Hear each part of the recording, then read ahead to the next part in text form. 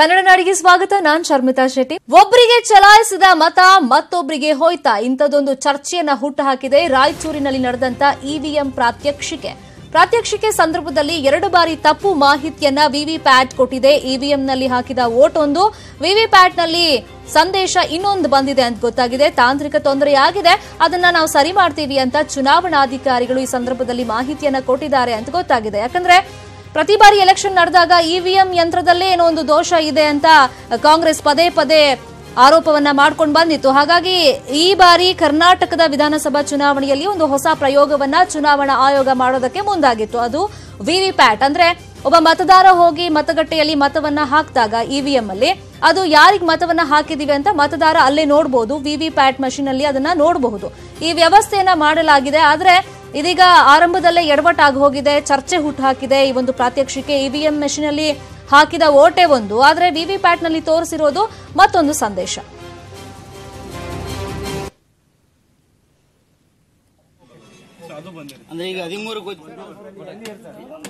ಈ ಬಗ್ಗೆ ಮತ್ತಷ್ಟು ಇನ್ಫಾರ್ಮೇಶನ್ ಕೊಡ್ತಾರೆ ಫೋನ್ ಸಂಪರ್ಕದಲ್ಲಿ ಜಾಯ್ನ್ ಆಗಿರುವಂತಹ ನಮ್ಮ ರಿಪೋರ್ಟರ್ ಶರಣಪ್ಪ ಬಾಚಲಾಪುರ. ಶರಣಪ್ಪ ಇವಿಎಂ ಅಂದ್ರೆ ಸಾಕಷ್ಟು ಸಂದರ್ಭದಲ್ಲಿ ಅದರಲ್ಲಿ ದೋಷ ಇದೆ ಅಂತ ಕಾಂಗ್ರೆಸ್ ಪ್ರತಿ ಬಾರಿ ಆರೋಪವನ್ನ ಮಾಡ್ಕೊಂಡು ಬರ್ತಾ ಇದೆ. ಟೆಕ್ನಿಕಲ್ ಮಿಸ್ಟೇಕ್ಸ್ ಇರಬಹುದು ಅಂತ.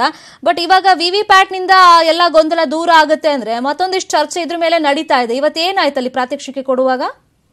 ಆ, ಶರ್ಮಿತಾ ಏನಂತ ಹೇಳಿ ಇವತ್ತು ಈ ವಿವಿ ಏನು ಇವಿಎಂಗಳ ವಿಶ್ವಾಸಾರ್ಹತೆ ಬಗ್ಗೆ ಒಂದು ಚರ್ಚೆ ನಡೀತಾ ಇದೆ. ಈ ಸಂದರ್ಭದಲ್ಲಿ ಇವತ್ತು ಅದಕ್ಕೆ ವಿವಿ ಪ್ಯಾಟ್ ಗಳನ್ನ ಅಳವಡಿಸಿ ಅದನ್ನ ವಿಶ್ವಾಸಾರ್ಹತೆ ಹೆಚ್ಚಿಸುವಂತ ಕೆಲಸ ನಡೀತಾ ಇದ್ದು ಅದನ್ನ ಇವತ್ತು ಮಾಧ್ಯಮ ಮತ್ತು ರಾಜಕೀಯ ಪಕ್ಷಗಳಿಗೆ ಅದು ಪ್ರಾತ್ಯಕ್ಷಿಕನ್ನ ಅಳವಡಿಸಿದ್ರು. ಈ ಸಂದರ್ಭದಲ್ಲಿ ಏನು ಆರಂಭದಲ್ಲಿ ತೋರಿಸಿರುವಂತ ಈ ವಿವಿ ಪ್ಯಾಟ್ಗಳಲ್ಲಿ ಏನು ಒಬ್ಬ ಇಬ್ಬರು ಅದನ್ನ ಮೊದಲು ಮತ ಹಾಕಿದ್ರು. ಮತ ಹಾಕಿದಾಗ ಅವರು ಹಾಕಿದ ಮತಕ್ಕೂ ಮತ್ತು ಅಲ್ಲಿ ವಿವಿ ಪ್ಯಾಟ್ನಲ್ಲಿ ತೋರಿಸಿರುವಂತ ಮತಕ್ಕೂ ಬೇರೆ ಬೇರೆ ವ್ಯತ್ಯಾಸ ಕಂಡು ಬಂತು. ಇದಕ್ಕೆ ಮತ್ತೆ ಅದನ್ನ ಸರಿಪಡಿಸಿಕೊಂಡು ಇನ್ನೊಂದು ವಿ ಪ್ಯಾಟರ್ನ್ ಅಳವಡಿಸಿದಾಗ ಅವರು ಹಾಕಿದ ಮತಗಳು ಸರಿಯಾದ ವಿವಿ ಪ್ಯಾಟ್ನಲ್ಲಿ ತೋರಿಸಿದ್ದು ಕಂಡು ಬಂತು. ಈ ರೀತಿಯಾಗಿ ಏನು ಆರಂಭದಲ್ಲಿ ಅದು ತಾಂತ್ರಿಕ ತೊಂದರೆ ಕಳಿಸಿದ್ದು ಇದು ಏನು ಅಲ್ಲಿರೋದವರಿಗೆ ಉಪಯೋಗಿಸುವಂತೆ ಮಾಡ್ತು. ಯಾಕಂದ್ರೆ ಈ ವಿಶ್ವಾಸಾರ್ಹತೆ ಬಗ್ಗೆ ಜನ ಏನ್ ಚರ್ಚೆ ಮಾಡ್ತಾರೆ, ಈ ಚರ್ಚೆ ಬಗ್ಗೆ ಹೆಚ್ಚು ಮತ್ತೊಂದಿಷ್ಟು ಏನು ಚರ್ಚೆಗೆ ಹುಟ್ಟು ಹಾಕುವಂತೆ ಕಂಡು ಬಂತು. ಆ ನಂತರ ಇದನ್ನ ಆ, ಜಿಲ್ಲಾಧಿಕಾರಿಗಳು ಅದನ್ನ ಸ್ಪಷ್ಟಪಡಿಸಿದ್ದೇನೆಂದ್ರೆ ಇವಿ ಪ್ಯಾಟ್ನಲ್ಲಿ ಇರುವಂತಹ ಮತ್ತು ಬ್ಯಾಟ್ರಿ ಲೋ ಆದ್ರೆ ಅಥವಾ ಮಷಿನ್ ಪ್ರಿಂಟರ್ ಸ್ವಲ್ಪ ತೊಂದರೆ ಆಗಿದ್ರೆ ಈ ರೀತಿ ಆಗಿರಬಹುದು ಆದ್ರೆ ಇದು ಈ ರೀತಿನೇ ಅದಾಗಲ್ಲ ಇದರಲ್ಲಿ ಸ್ವಲ್ಪ ತಾಂತ್ರಿಕ ತೊಂದರೆಯಿಂದನೇ ಈ ರೀತಿ ಆಗಿರುತ್ತೆ ಆದ್ರೆ ಯಾವುದೇ ಕಾರಣಕ್ಕೂ ಆ ರೀತಿ ಆಗಿರಲ್ಲ ಅಂತ ಮಾತನ್ನ ಆ, ಹೇಳಿದ್ರು Sharmita. Fine thank you Sharanappa ತಮ್ಮೆಲ್ಲ ಇನ್ಫಾರ್ಮೇಶನ್ಗೆ ಸೊ ಅದು ಬೇರೆ ಇತ್ತು ಸರ್ ಅಂದ್ರೆ ಈಗ ಹದಿಮೂರು ಗೊತ್ತು ಪ್ರತಿಯೊಂದು ಇದನ್ನು candidate sixty four symbol loaded ಇದೆ ಸರ್ ಇದರಲ್ಲಿ. ಸೊ ಅದು ಬೇರೆ ಇತ್ತು ಸರ್ ಅದು ಸೊ ಅದು ಬಂದಿರುತ್ತೆ. ಅಂದ್ರೆ ಈಗ ಹದಿಮೂರು ಗೊತ್ತು ಪ್ರತಿಯೊಂದು ಇದನ್ನು candidate sixty four symbol loaded ಇದೆ ಸರ್ ಇದರಲ್ಲಿ. ಈ ಬಗ್ಗೆ ಮಾತಾಡೋದಕ್ಕೆ ನಮ್ಮ ಜೊತೆ ಜಿಲ್ಲಾ ಕಾಂಗ್ರೆಸ್ ಮುಖಂಡರಾಗಿರುವಂತಹ ರುದ್ರಪ್ಪ ಅಂಗಡಿ ಅವರು ಫೋನ್ ಸಂಪರ್ಕದಲ್ಲಿ ಜಾಯ್ನ್ ಆಗಿದ್ದಾರೆ. ಸರ್ ಈಗ ರಾಯಚೂರಲ್ಲಿ ಒಂದು ಪ್ರಾತ್ಯಕ್ಷಿಕೆ ನಡೆದಿದೆ. ನಿಮಗೆ ಆಲ್ರೆಡಿ ಮಾಹಿತಿ ಗೊತ್ತಾಗಿರುತ್ತೆ. ಸೊ ಈಗ ಕಾಂಗ್ರೆಸ್ ಪ್ರತಿ ಬಾರಿ ಆರೋಪ ಮಾಡ್ತಿತ್ತು ಇವಿಎಂ ಅಲ್ಲಿ ದೋಷ ಇರಬೇಕು ಇರಬೇಕು ಅಂತ. ಬಟ್ ಹೊಸ ಪ್ರಯೋಗ ವಿವಿ ಪ್ಯಾಟ್ ಬಹುಶಃ ಒಂದಿಷ್ಟು ಗೊಂದಲಗಳನ್ನು ನಿವಾರಣೆ ಮಾಡುತ್ತೆ ಅಂದ್ರೆ ಮತ್ತೊಂದಿಷ್ಟು ಚರ್ಚೆ ಗ್ರಾಸವಾಗಿದೆ ಏನ್ ಹೇಳ್ತೀರಾ ಸರ್ ನೀವು ಈ ಬಗ್ಗೆ? ಮೇಡಮ್ ಈಗ ಜಿಲ್ಲಾಧಿಕಾರಿಗಳು ಮತ್ತು ಇತರ ಅಧಿಕಾರಿಗಳು ಕೂತ್ಕೊಂಡು ಇವತ್ತು ಪ್ರಾತ್ಯಕ್ಷಿಕೆ ನಡೆಸಿದ್ರು. ಹಾ. ನಡೆಸಿದಾಗ ಅದು ಏನಾಯ್ತು ಮೊದಲು ಬ್ಯಾಲೆಟ್ ಪೇಪರ್ಗೆ ಮತ್ತು ವಿ ಪ್ಯಾಟ್ಗೆ ಟ್ಯಾಲಿ ಆಗ್ಲಿಲ್ಲ. ಆದ್ಮೇಲೆ ಚೆಕ್ ಮಾಡಿದಾಗ ಅದರಲ್ಲಿ ಅರವತ್ನಾಲ್ಕು ಕ್ಯಾಂಡಿಡೇಟ್ಗಳ ಹೆಸರುಗಳನ್ನ ಹಾಕಿದೀವಿ. ಹಂಗಾಗ ಆಯ್ತು. ನಾವು ಮತ್ತೆ ಈಗ ಹದಿನಾರು ಕ್ಯಾಂಡಿಡೇಟ್ನ ತಗೊಂಡು ಬ್ಯಾಲೆಟ್ ಪೇಪರ್ ಮತ್ತು ವಿ ಪ್ಯಾಟ್ನಲ್ಲಿ ನಲ್ವ ನಲವತ್ತಾರು ಅರವತ್ನಾಲ್ಕು ಇತ್ತು ಮುಂಚೆ. ಅರವತ್ನಾಲ್ಕು ಕ್ಯಾಂಡಿಡೇಟ್ ತೆಗೆದ್ಬಿಟ್ಟು ಮತ್ತೆ ಹದಿನಾರು ಕ್ಯಾಂಡಿಡೇಟ್ ಮಾಡಿದ್ರು. ಅರವತ್ನಾಲ್ಕು ಕ್ಯಾಂಡಿಡೇಟ್ಗಳು ಮಾಡಿದಾಗ ಹ್ಮ್. ಹೆಸರು ಮಾತ್ರ ಹೆಸರು ಮಾತ್ರ ಬರ್ತಿದ್ದಿಲ್ಲ. ಪಾರ್ಟಿ ಹೆಸರು. ಪಾರ್ಟಿ ಹೆಸರು ಮತ್ತೆ ಕ್ಯಾಂಡಿಡೇಟ್ ಹೆಸರು ಬರ್ತಿದ್ದಿಲ್ಲ. ಏನ್ ಸಿಪಾರ್ ಏನಿತ್ತು ಸೀರಿಯಲ್ ನಂಬರ್ ಅದು ಬರ್ತಾ ಇತ್ತು. ಅದನ್ನ ಮತ್ತೆ ನಾವೆಲ್ಲ ಅಬ್ಜೆಕ್ಷನ್ ಮಾಡಿದಾಗ ಅದನ್ನ ತೆಗೆದ್ಬಿಟ್ಟು ಮತ್ತೆ ಅದೇನೋ ವಿ ಪ್ಯಾಟ್ನ ಹದಿನಾರು ಕ್ಯಾಂಡಿಡೇಟ್ ಮಾತ್ರ ರಿಸಿಟ್ ಮಾಡಿ ಹದಿನಾರು ಜನರದ ಹೆಸರನ್ನ ಹದಿನಾರು ಜನದ ಸೀರಿಯಲ್ ನಂಬರ್ನ ಅದರಲ್ಲಿ ಆಡ್ ಮಾಡಿದ್ರು. ಅವಾಗ ಅದು ಸರಿ ಆಯ್ತು ಮೇಡಮ್ ಅದು. ಸರಿ ಅಂದ್ರೆ ಈಗ ನೀವ್ ಅಲ್ಲಿ ಇದ್ರಲ್ವಾ ಆ ಟೈಮಲ್ಲಿ? ಹಾ, ಮೇಡಮ್ ಸರಿ ನೀವು ನೋಡ್ದಾಗೆ ನೀವು ಅಬ್ಸರ್ವ್ ಮಾಡ್ದಂಗೆ ಆ ಅಧಿಕಾರಿಗಳಿಗೆ ಅದನ್ನ ಆಪರೇಟ್ ಮಾಡಕ್ ಸರಿಯಾಗಿ ಬರ್ಲಿಲ್ವಾ ಅಥವಾ ಮೆಷಿನ್ ಅಲ್ಲಿ ಏನಾದ್ರು ಟೆಕ್ನಿಕಲ್ ಪ್ರಾಬ್ಲಮ್ ಇತ್ತಾ? ಅದು ಅಧಿಕಾರಿಗಳ ಮಿಸ್ಟೇಕ್ ಆಗಿತ್ತು ಮೇಡಮ್ ಅದು. ಆ ವಿ ಪ್ಯಾಟ್ ತರುವಾಗ ಅದು ಏನೋ ಒಂದು ರ್ಯಾಂಡಮ್ ಆಗಿ ಎತ್ಕೊಂಡು ಬಂದಿದ್ರು.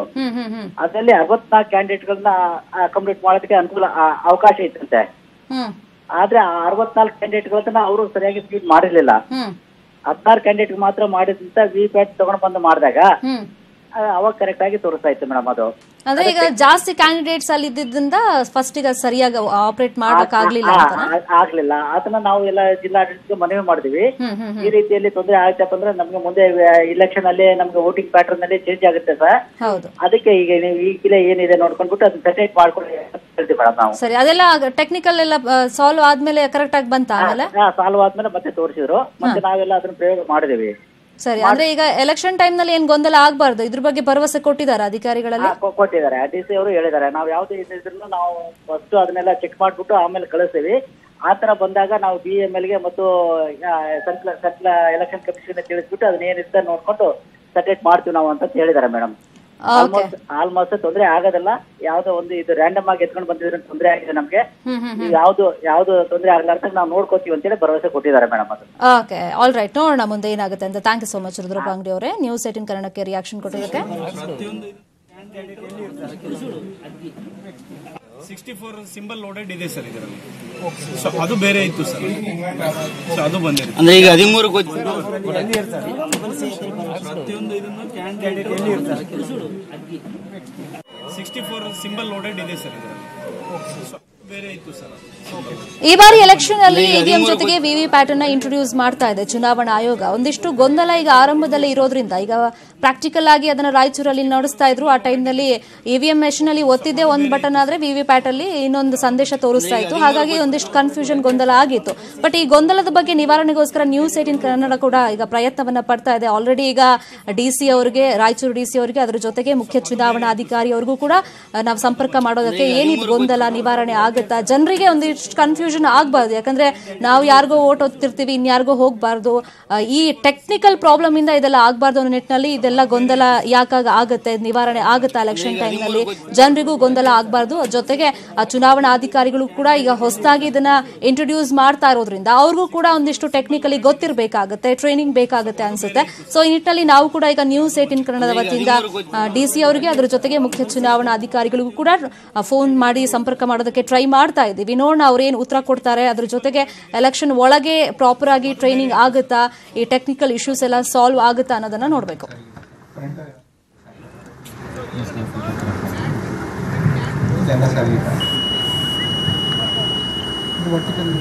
ಇದು ಪಿ ಎಲ್ ಸಿನಲ್ಲಿ ಆಗಿದೆ already F L C F L F F L ಸಿನಲ್ಲಿ ಆಗಿದೆ.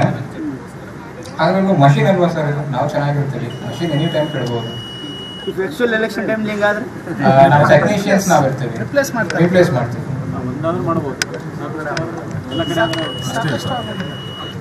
ಅಷ್ಟಾದ್ರೆ ಅಷ್ಟು ಇರ್ತವೆ. ಸೆಕ್ಟರ್ ಸೆಕ್ಟರ್ ಇರ್ತಾರೆ. ಸೆಕ್ಟರ್ ಆಫೀಸರ್ಸ್ ಯಾರು ಇರ್ತಾರೆ? ಅವ್ರಿಗೆ ಇ ವಿ ಎಂ ಹಾಗೂ ವಿ ವಿ ಪ್ಯಾಟ್ ಏನು ಮೆಷಿನ್ಸ್ ಇರ್ತವೆ ರಿಸರ್ವ್ ಇರ್ತವೆ ಅವ್ರು ಅವ್ರು ರಿಪ್ಲೇಸ್ ಮಾಡ್ತಾರೆ. ಈ ಬಗ್ಗೆ ಮಾತಾಡೋದಕ್ಕೆ ರಾಯಚೂರು ಡಿಸಿ ಹಾಗೇನೆ. ರಾಯಚೂರಿನಲ್ಲಿ ಚುನಾವಣಾ ಅಧಿಕಾರಿ ಆಗಿರುವಂತಹ ಬಗಾದಿ ಗೌತಮ್ ಅವರು ನಮ್ಮ ಜೊತೆ ಫೋನ್ ಸಂಪರ್ಕದಲ್ಲಿ ಜಾಯ್ನ್ ಆಗಿದ್ದಾರೆ. ಸರ್, ನಮಸ್ಕಾರ. ಬಹುಶಃ ಸಂಪರ್ಕ ಸರಿಯಾಗಿ ಸಾಧ್ಯವಾಗಲಿಲ್ಲ ಅನ್ಸುತ್ತೆ. ಮತ್ತೊಮ್ಮೆ ನಾವು ಡಿಸಿ ಅವರನ್ನ ಮಾತನಾಡಿಸೋ ಪ್ರಯತ್ನವನ್ನ ಮಾಡ್ತೀವಿ. ಒಟ್ಟಿನಲ್ಲಿ ಇವತ್ತು ರಾಯಚೂರಲ್ಲಿ ಆಗಿರುವಂತಹ ಘಟನೆ ಇದು. ಇವಿಎಂ ಪ್ರಾತ್ಯಕ್ಷಿಕೆ ಕೊಡ್ತಾ ಇದ್ರು. ಆ ಟೈಮ್ನಲ್ಲಿ ವಿವಿ ಪ್ಯಾಟ್ ಅನ್ನ ಕೂಡ ಪಕ್ಕದಲ್ಲಿ ಇರಿಸಿ ಪ್ರಾತ್ಯಕ್ಷಿಕೆ ಮಾಡ್ತಾ ಇದ್ದಾಗ ವಿವಿ, ಅಂದ್ರೆ ಇವಿಎಂ ಅಲ್ಲಿ ಹಾಕಿದ ಓಟು ಬೇ ಒಂದಾದ್ರೆ ವಿವಿ ಪ್ಯಾಟ್ನಲ್ಲಿ ಪ್ರದರ್ಶನ ಮಾಡಿ ಸಂದೇಶ ಇನ್ನೊಂದಾಗಿದೆ. ಹೀಗಾಗಿ ಸ್ವಲ್ಪ ಗೊಂದಲ ಅಲ್ಲಿ ಉಂಟಾಗಿದೆ. ಈ ಬಗ್ಗೆ ಗೊಂದಲ ನಿವಾರಣೆಯನ್ನ ಜನಕ್ಕೂ ಕೂಡ ನಾವು ಮಾಡಬೇಕಾಗುತ್ತೆ. ಹಾಗಾಗಿ ನ್ಯೂಸ್ ಏಟೀನ್ ಕನ್ನಡ ಇದೆ. ಗೊಂದಲ ನಿವಾರಣೆಗೆ ಪ್ರಯತ್ನವನ್ನ ಪಡ್ತಾ ಇದೆ.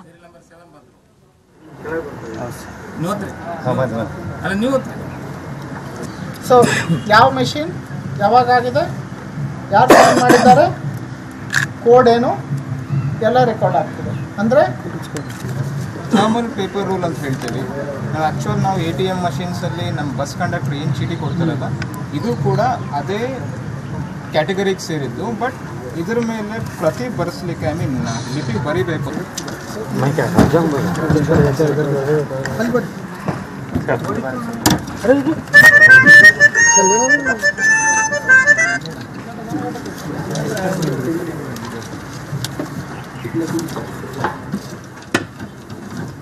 ರಾಯಚೂರಲ್ಲಿ ಇವತ್ತು ಪ್ರಾತ್ಯಕ್ಷಿಕೆ ಮಾಡುವಾಗ ಒಂದಿಷ್ಟು ಗೊಂದಲ ಉಂಟಾಗಿದೆ. ಯಾಕಂದ್ರೆ ಈಗ ಇವಿಎಂ ನಲ್ಲಿ ಹಾಕಿದ ಓಟ್ ಒಂದು ವಿವಿಪ್ಯಾಟ್ ಅಲ್ಲಿ ಪ್ರದರ್ಶನಗೊಂಡಂತ ಒಂದು ಸಂದೇಶ ಬೇರೆ ಆಗಿತ್ತು. ಹಾಗಾಗಿ ಅಧಿಕಾರಿಗಳಿಗೂ ಕೂಡ ಸ್ವಲ್ಪ ಅಲ್ಲಿ ಗೊಂದಲ ಆಯಿತು.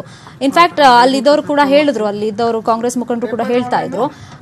ಜಾಸ್ತಿ ಕ್ಯಾಂಡಿಡೇಟ್ಸ್ನ ಎಂ ಅಲ್ಲಿ ಹಾಕಿದ್ರೆ ಸ್ವಲ್ಪ ಅಲ್ಲಿ ಕನ್ಫ್ಯೂಷನ್ ಕಾರಣವಾಯಿತು ಅಂತ. ಅದಾದ್ಮೇಲೆ ಟೆಕ್ನಿಕಲಿ ಸರಿ ಮಾಡಿದ್ರು ಅಧಿಕಾರಿಗಳು ಅಂತ.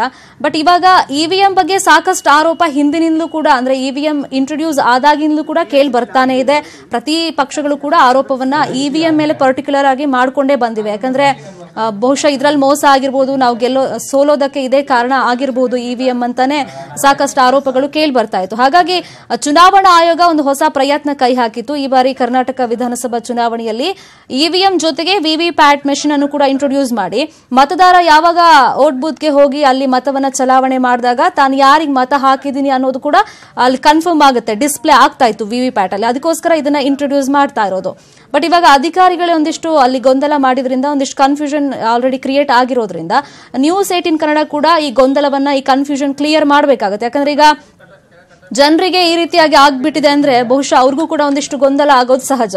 ಈಗ ನಾವ್ ಯಾರಿಗೋ ಓಟ್ ಹಾಕಿರ್ತೀವಿ, ಅದು ಯಾರಿಗೋ ಹೋಗ್ಬಿಡುತ್ತೆ ಏನೋ ಒಂದಿಷ್ಟು ಆತಂಕ, ಗೊಂದಲ ಇದ್ದೇ ಇರುತ್ತೆ. ಈ ನಿಟ್ಟಿನಲ್ಲಿ ಈ ಗೊಂದಲ, ಆತಂಕವನ್ನ ನಿವಾರಣೆ ಮಾಡೋ ನಿಟ್ಟಿನಲ್ಲಿ ನಾವೀಗ ರಾಜ್ಯದ ಮುಖ್ಯ ಚುನಾವಣಾಧಿಕಾರಿ ಸಂಜೀವ್ ಕುಮಾರ್ ಅವ್ರಿಗೂ ಕೂಡ ಫೋನ್ ಮಾಡ್ತಾ ಇದ್ದೀವಿ ಟ್ರೈ ಮಾಡ್ತಿದ್ದೀವಿ ಇನ್ನೊಂದ್ ಕಡೆ ಈಗ ರಾಯಚೂರಿನ ಡಿಸಿ ಹಾಗೇನೆ ಜಿಲ್ಲಾ ಚುನಾವಣಾ ಚುನಾವಣಾಧಿಕಾರಿಗಳಿಗೂ ಕೂಡ ನಾವು ಸಂಪರ್ಕವನ್ನ ಮಾಡ್ತಾ ಇದ್ದೀವಿ ಯಾವ ರೀತಿ ಗೊಂದಲವನ್ನ ನಿವಾರಣೆ ಮಾಡ್ತಾರೆ ಇದಕ್ಕೆ ಏನ್ ಸ್ಟ್ಯಾಂಡ್ ತಗೊಳ್ತಾರೆ ಅಂತ. ಯಾಕಂದ್ರೆ ಈಗ ಚುನಾವಣೆ ಹತ್ರ ಬರ್ತಾ ಇದೆ ಡೇಟ್ ಎಲ್ಲ ಅನೌನ್ಸ್ ಆಗಿರೋದ್ರಿಂದ ಇಂಥ ಟೈಮಲ್ಲಿ ಈಗ ಪ್ರಾಕ್ಟಿಕಲ್ ಮಾಡುವಾಗ ಈ ರೀತಿ ಒಂದಿಷ್ಟು ಕನ್ಫ್ಯೂಷನ್ಗಳು ಗೊಂದಲಗಳು ಆಗ್ತಾ ಇದೆ. ಅಧಿಕಾರಿಗಳಿಗೂ ಕೂಡ ಪಾಪ ಅವ್ರಿಗೂ ಟೆಕ್ನಿಕಲಿ ಹ್ಯಾಂಡಲ್ ಮಾಡೋಕೆ ಸರಿಯಾಗಿ ಗೊತ್ತಾಗ್ತಾ ಇಲ್ಲ ಅನ್ಸುತ್ತೆ. ಈ ನಿಟ್ಟಿನಲ್ಲಿ ಅವ್ರಿಗೆ ಯಾವ ರೀತಿ ಟ್ರೈನಿಂಗ್ ಅನ್ನ ಕೊಡ್ತಾರೆ ಜಾಸ್ತಿ ಕ್ಯಾಂಡಿಡೇಟ್ಸ್ ಇದ್ದಾಗ ಒಂದಿಷ್ಟು ಗೊಂದಲ. ರಾಯಚೂರಲ್ಲಿ ಇವತ್ತು ಪ್ರಾತ್ಯಕ್ಷಿಕೆ ಮಾಡುವಾಗ ಆಗಿರೋದು. ಅದಾದ್ಮೇಲೆ ಹದಿನಾರು ಕ್ಯಾಂಡಿಡೇಟ್ಸ್ ಇರೋ ಒಂದು ಲಿಸ್ಟ್ ಅನ್ನ ಅಲ್ಲಿ ಇವಿಎಂ ಅಲ್ಲಿ ಹಾಕಿದಾಗ ಅಲ್ಲೇನು ಕನ್ಫ್ಯೂಷನ್ ಆಗಿಲ್ಲ, ಗೊಂದಲ ಆಗಿಲ್ಲ. ಬಟ್ ಹದಿನಾರಕ್ಕಿಂತ ಜಾಸ್ತಿ ಕ್ಯಾಂಡಿಡೇಟ್ಸ್ ಹಾಕಿದಾಗ ಅಲ್ಲಿ ಒಂದಿಷ್ಟು ಕನ್ಫ್ಯೂಷನ್ ಗೊಂದಲ ಅಧಿಕಾರಿಗಳು ಕೂಡ ಆಗಿದೆ. ಹಾಗಾಗಿ ಈಗ ಜನರಿಗೂ ಕೂಡ ಒಂದು ರೀತಿ ಭಯ, ಆತಂಕ ಇದ್ದೇ ಇರುತ್ತೆ. ಈಗ ಈ ಪರ್ಟಿಕ್ಯುಲರ್ ಆಗಿ ಇವಿಎಂ ಜೊತೆಗೆ ವಿವಿ ಪ್ಯಾಟ್ ಮೆಷಿನ್ ಅನ್ನ ಇಂಟ್ರೊಡ್ಯೂಸ್ ಮಾಡಿದಾಗ ಜನರ ವಿಶ್ವಾಸ ಏನಾದರೂ ಕಳ್ಕೊಂಡ್ಬಿಡುತ್ತಾ ಈ ಮೆಷಿನ್ಗಳು ಅನ್ನೋ ಆತಂಕ ಕೂಡ ಜನರಲ್ಲಿ ಇದ್ದೇ ಇರುತ್ತೆ. ಯಾಕಂದ್ರೆ ನಾವು ಯಾರಿಗೋ ಓಟ್ ಹಾಕಿರ್ತೀವಿ, ಅದು ಯಾರೋ ಬೇರೆಯವ್ರಿಗೆ ಹೋಗ್ಬಿಟ್ರೆ ಏನ್ ಕತೆ ಅನ್ನೋದು ಜನರಲ್ಲೂ ಕೂಡ ಆ ಗೊಂದಲ, ಆತಂಕ ಇದ್ದೇ ಇರುತ್ತೆ. ಈ ನಿಟ್ಟಿನಲ್ಲಿ ಅದನ್ನ ನಿವಾರಣೆ ಮಾಡಲೇಬೇಕಾಗುತ್ತೆ. ಜವಾಬ್ದಾರಿಯುತ ಮಾಧ್ಯಮವಾಗಿ ನ್ಯೂಸ್ ಏಟಿನ್ ಕನ್ನಡ ಕೆಲಸವನ್ನ ಈಗ ಮಾಡ್ತಾ ಇದೆ. ರಾಜ್ಯ ಮುಖ್ಯ ಚುನಾವಣಾಧಿಕಾರಿಗಳು ಅದ್ರ ಜೊತೆಗೆ ರಾಯಚೂರಲ್ಲಿ ಈ ಪ್ರಾತ್ಯಕ್ಷಿಕೆ ನಡೆದಿರೋದ್ರಿಂದ. ಸೊ, ಅಲ್ಲಿ ಏನಾಯ್ತು ಅದ್ರ ಬಗ್ಗೆ ಮಾತನಾಡೋದಕ್ಕೆ ಇದೀಗ ಜಿಲ್ಲಾಧಿಕಾರಿಗಳು ಆಗಿರುವಂತ ಗೌತಮ್ ಅವರು ನಮ್ಮ ಜೊತೆ ದೂರವಾಣಿ ಸಂಪರ್ಕದಲ್ಲಿ ಜಾಯ್ನ್ ಆಗಿದ್ದಾರೆ ಸರ್ ನಮಸ್ತೆ. ನಮಸ್ತೆ. ಸರ್ ಏನಾಯ್ತು ಸರ್? ಏನು ಕನ್ಫ್ಯೂಷನ್ ಆಯ್ತಂತಲ್ಲ ಇವಿಎಂ ಪ್ರಾತ್ಯಕ್ಷಿಕೆ ಏನು ಮಾಡುವಾಗ? ಆಗ್ಲಿಲ್ಲ. ಮೊದಲು ವಿವಿ ಪ್ಯಾಟ್ನಲ್ಲಿ ಒಂದು ಪ್ರಿಂಟರ್ ಎರರ್ ಬಂದಿತ್ತು ವಿಚ್ ಇಸ್ ನಾರ್ಮಲ್ ಅದನ್ನು ರಿಪ್ಲೇಸ್ ಮಾಡಿ ಇನ್ನೊಂದು ಮೆಷಿನ್ ಒಂದಿಗೆ ಮಾಡಿದ್ವಿ twenty eight votes were poll and hundred percent correct result ಬಂದಿದೆ. ಅಂದ್ರೆ ಈಗ ವಿವಿಎಂ ಅಲ್ಲಿ ವೋಟ್ ಮಾಡಿದೊಂದು ವಿವಿ ಪ್ಯಾಟ್ನಲ್ಲಿ ತೋರಿಸಿದ ಇನ್ನೊಂದು ಅದೇನೋ ಕನ್ಫ್ಯೂಷನ್ ಆಯ್ತಂತಲ್ಲ ಸರ್ ಅಲ್ಲಿ? ಟ್ವೆಂಟಿ ಏಟ್ ವೋಟ್ಸ್ ಪೋಲ್ ಮಾಡಿದ್ವಿ. ಟ್ವೆಂಟಿ ಏಟ್ ವೋಟ್ಸ್ ಯಾರಿಗೆ ಪೋಲ್ ಮಾಡಿದ್ವಿ? ಅವರಿಗೆನೆ ಬಂದಿತ್ತು. ಓಕೆ ಸರ್ ಈಗ ಇವಿಎಂ ಬಗ್ಗೆ ರಾಜಕೀಯ ಪಕ್ಷಗಳಲ್ಲೇ ಒಂದಿಷ್ಟು ಗೊಂದಲ ಇತ್ತು ಸಂದೇಹ ಕೂಡ ಅವ್ರು ಡೌಟ್ಸ್ ವ್ಯಕ್ತಪಡಿಸ್ತಾ ಇದ್ರು. ಬಟ್ ಇಂಥ ಟೈಮಲ್ಲೇ ಇಂಥ ಒಂದು ಪ್ರಮಾದ ಆಗಿರೋದು ಜನರಲ್ಲೂ ಕೂಡ ಒಂದ್ ರೀತಿ ಆತಂಕ ಮೂಡಿಸೋದಿಲ್ವಾ ಸರ್ ವಿವಿ ಪ್ಯಾಟ್ನಲ್ಲಿ ಬಂದಿರುವ. Printer error is normal and that is not an abnormality okay ಒಂದು. ಎರಡನೇದು EVMs are tamper proof and EVMs are completely full proof so ಅದರಲ್ಲಿ ಗೊಂದಲ ಏನೂ ಇಲ್ಲ. ಓಕೆ ಈಗ ಪ್ರಾತ್ಯಕ್ಷಿಕತೆಯಲ್ಲೇ ಹಿಂಗ್ ಆಗ್ಬಿಟ್ರೆ ಇವಿಎಂ ಗಳ ಬಗ್ಗೆ ವಿಶ್ವಾಸ ಮೂಡೋದು ಹೇಗೆ? ಯಾಕಂದ್ರೆ ಈಗ ನೀವು ಟ್ರೈನಿಂಗ್ ಕೊಡ್ತಿದ್ದೀರಾ ಅಧಿಕಾರಿಗಳಿಗೆ? ಆಗಿರ್ಬೋದು. ಏನು ಆಗಿದೆ. ಟ್ವೆಂಟಿ ಏಟ್ ವೋಟ್ಸ್ ಏನ್ ಪೋಲ್ ಆಗಿವೆ ಆ ಟ್ವೆಂಟಿ ಏಟ್ ವೋಟ್ಸ್ ಇವಿಎಂ ನಲ್ಲಿ ಯಾರಿಗೆ ವೋಟ್ ಹಾಕಿದ್ದಾರೆ ಅವರಿಗೇನೆ ಟ್ವೆಂಟಿ ಏಟ್ ವೋಟ್ಸ್ ಪೋಲ್ ಆಗಿದೆ ಇವಿ ಪ್ಯಾಟ್ನಲ್ಲಿ. ಎಲ್ಲರೂ ಅಲ್ಲಿ ಇರುವವರು ಅದು ಸ್ವತಃ ನೋಡಿದ್ದಾರೆ. ಓಕೆ ಅಂದ್ರೆ ಈ ಕನ್ಫ್ಯೂಷನ್ ಗಳಿಗೆ ಏನ್ ಕಾರಣ ಆಯ್ತು ಅಂತ ನೀವ್ ಹೇಳ್ತೀರಾ? ಟೆಕ್ನಿಕಲಿ ಏನ್ ಪ್ರಾಬ್ಲಮ್ ಆಯ್ತಲ್ಲಿ ನೋ ಕನ್ಫ್ಯೂಷನ್ ಹಾ. ಟ್ವೆಂಟಿ ಏಟ್ ವೋಟ್ಸ್ ಏನ್ ಪೋಲ್ ಆಗಿದೆ ಅವು ಯಾರಿಗೆ ಹೋಗ್ಬೇಕು ಅವರಿಗೇನೆ ಹೋಗಿದೆ. ಬಟ್ ಅಲ್ಲಿ ಇವಿಎಂ ಅಲ್ಲಿ ಹಾಕಿದ ಒಂದು ಓಟ್ ಅಂತೆ ವಿವಿ ಪ್ಯಾಟ್ ಅಲ್ಲಿ ತೋರಿಸಿದ್ದು ಒಂದಂತೆ ಅಂದ್ರೆ ಏನೋ ಪ್ರಿಂಟರ್ ಅಲ್ಲಿ ಏನೋ ಅಲ್ಲಿ ಸಮಸ್ಯೆ ಆಯ್ತಂತಲ್ಲ ಸರ್ ಇಲ್ಲ ಇಲ್ಲ. What has happen was status displays unit first printer error ಬಂದಿತ್ತು. ಅದರಲ್ಲಿ ಎರಡು ಇರುತ್ತವೆ ಟೂ ಎರರ್ಸ್ ಇರುತ್ತವೆ.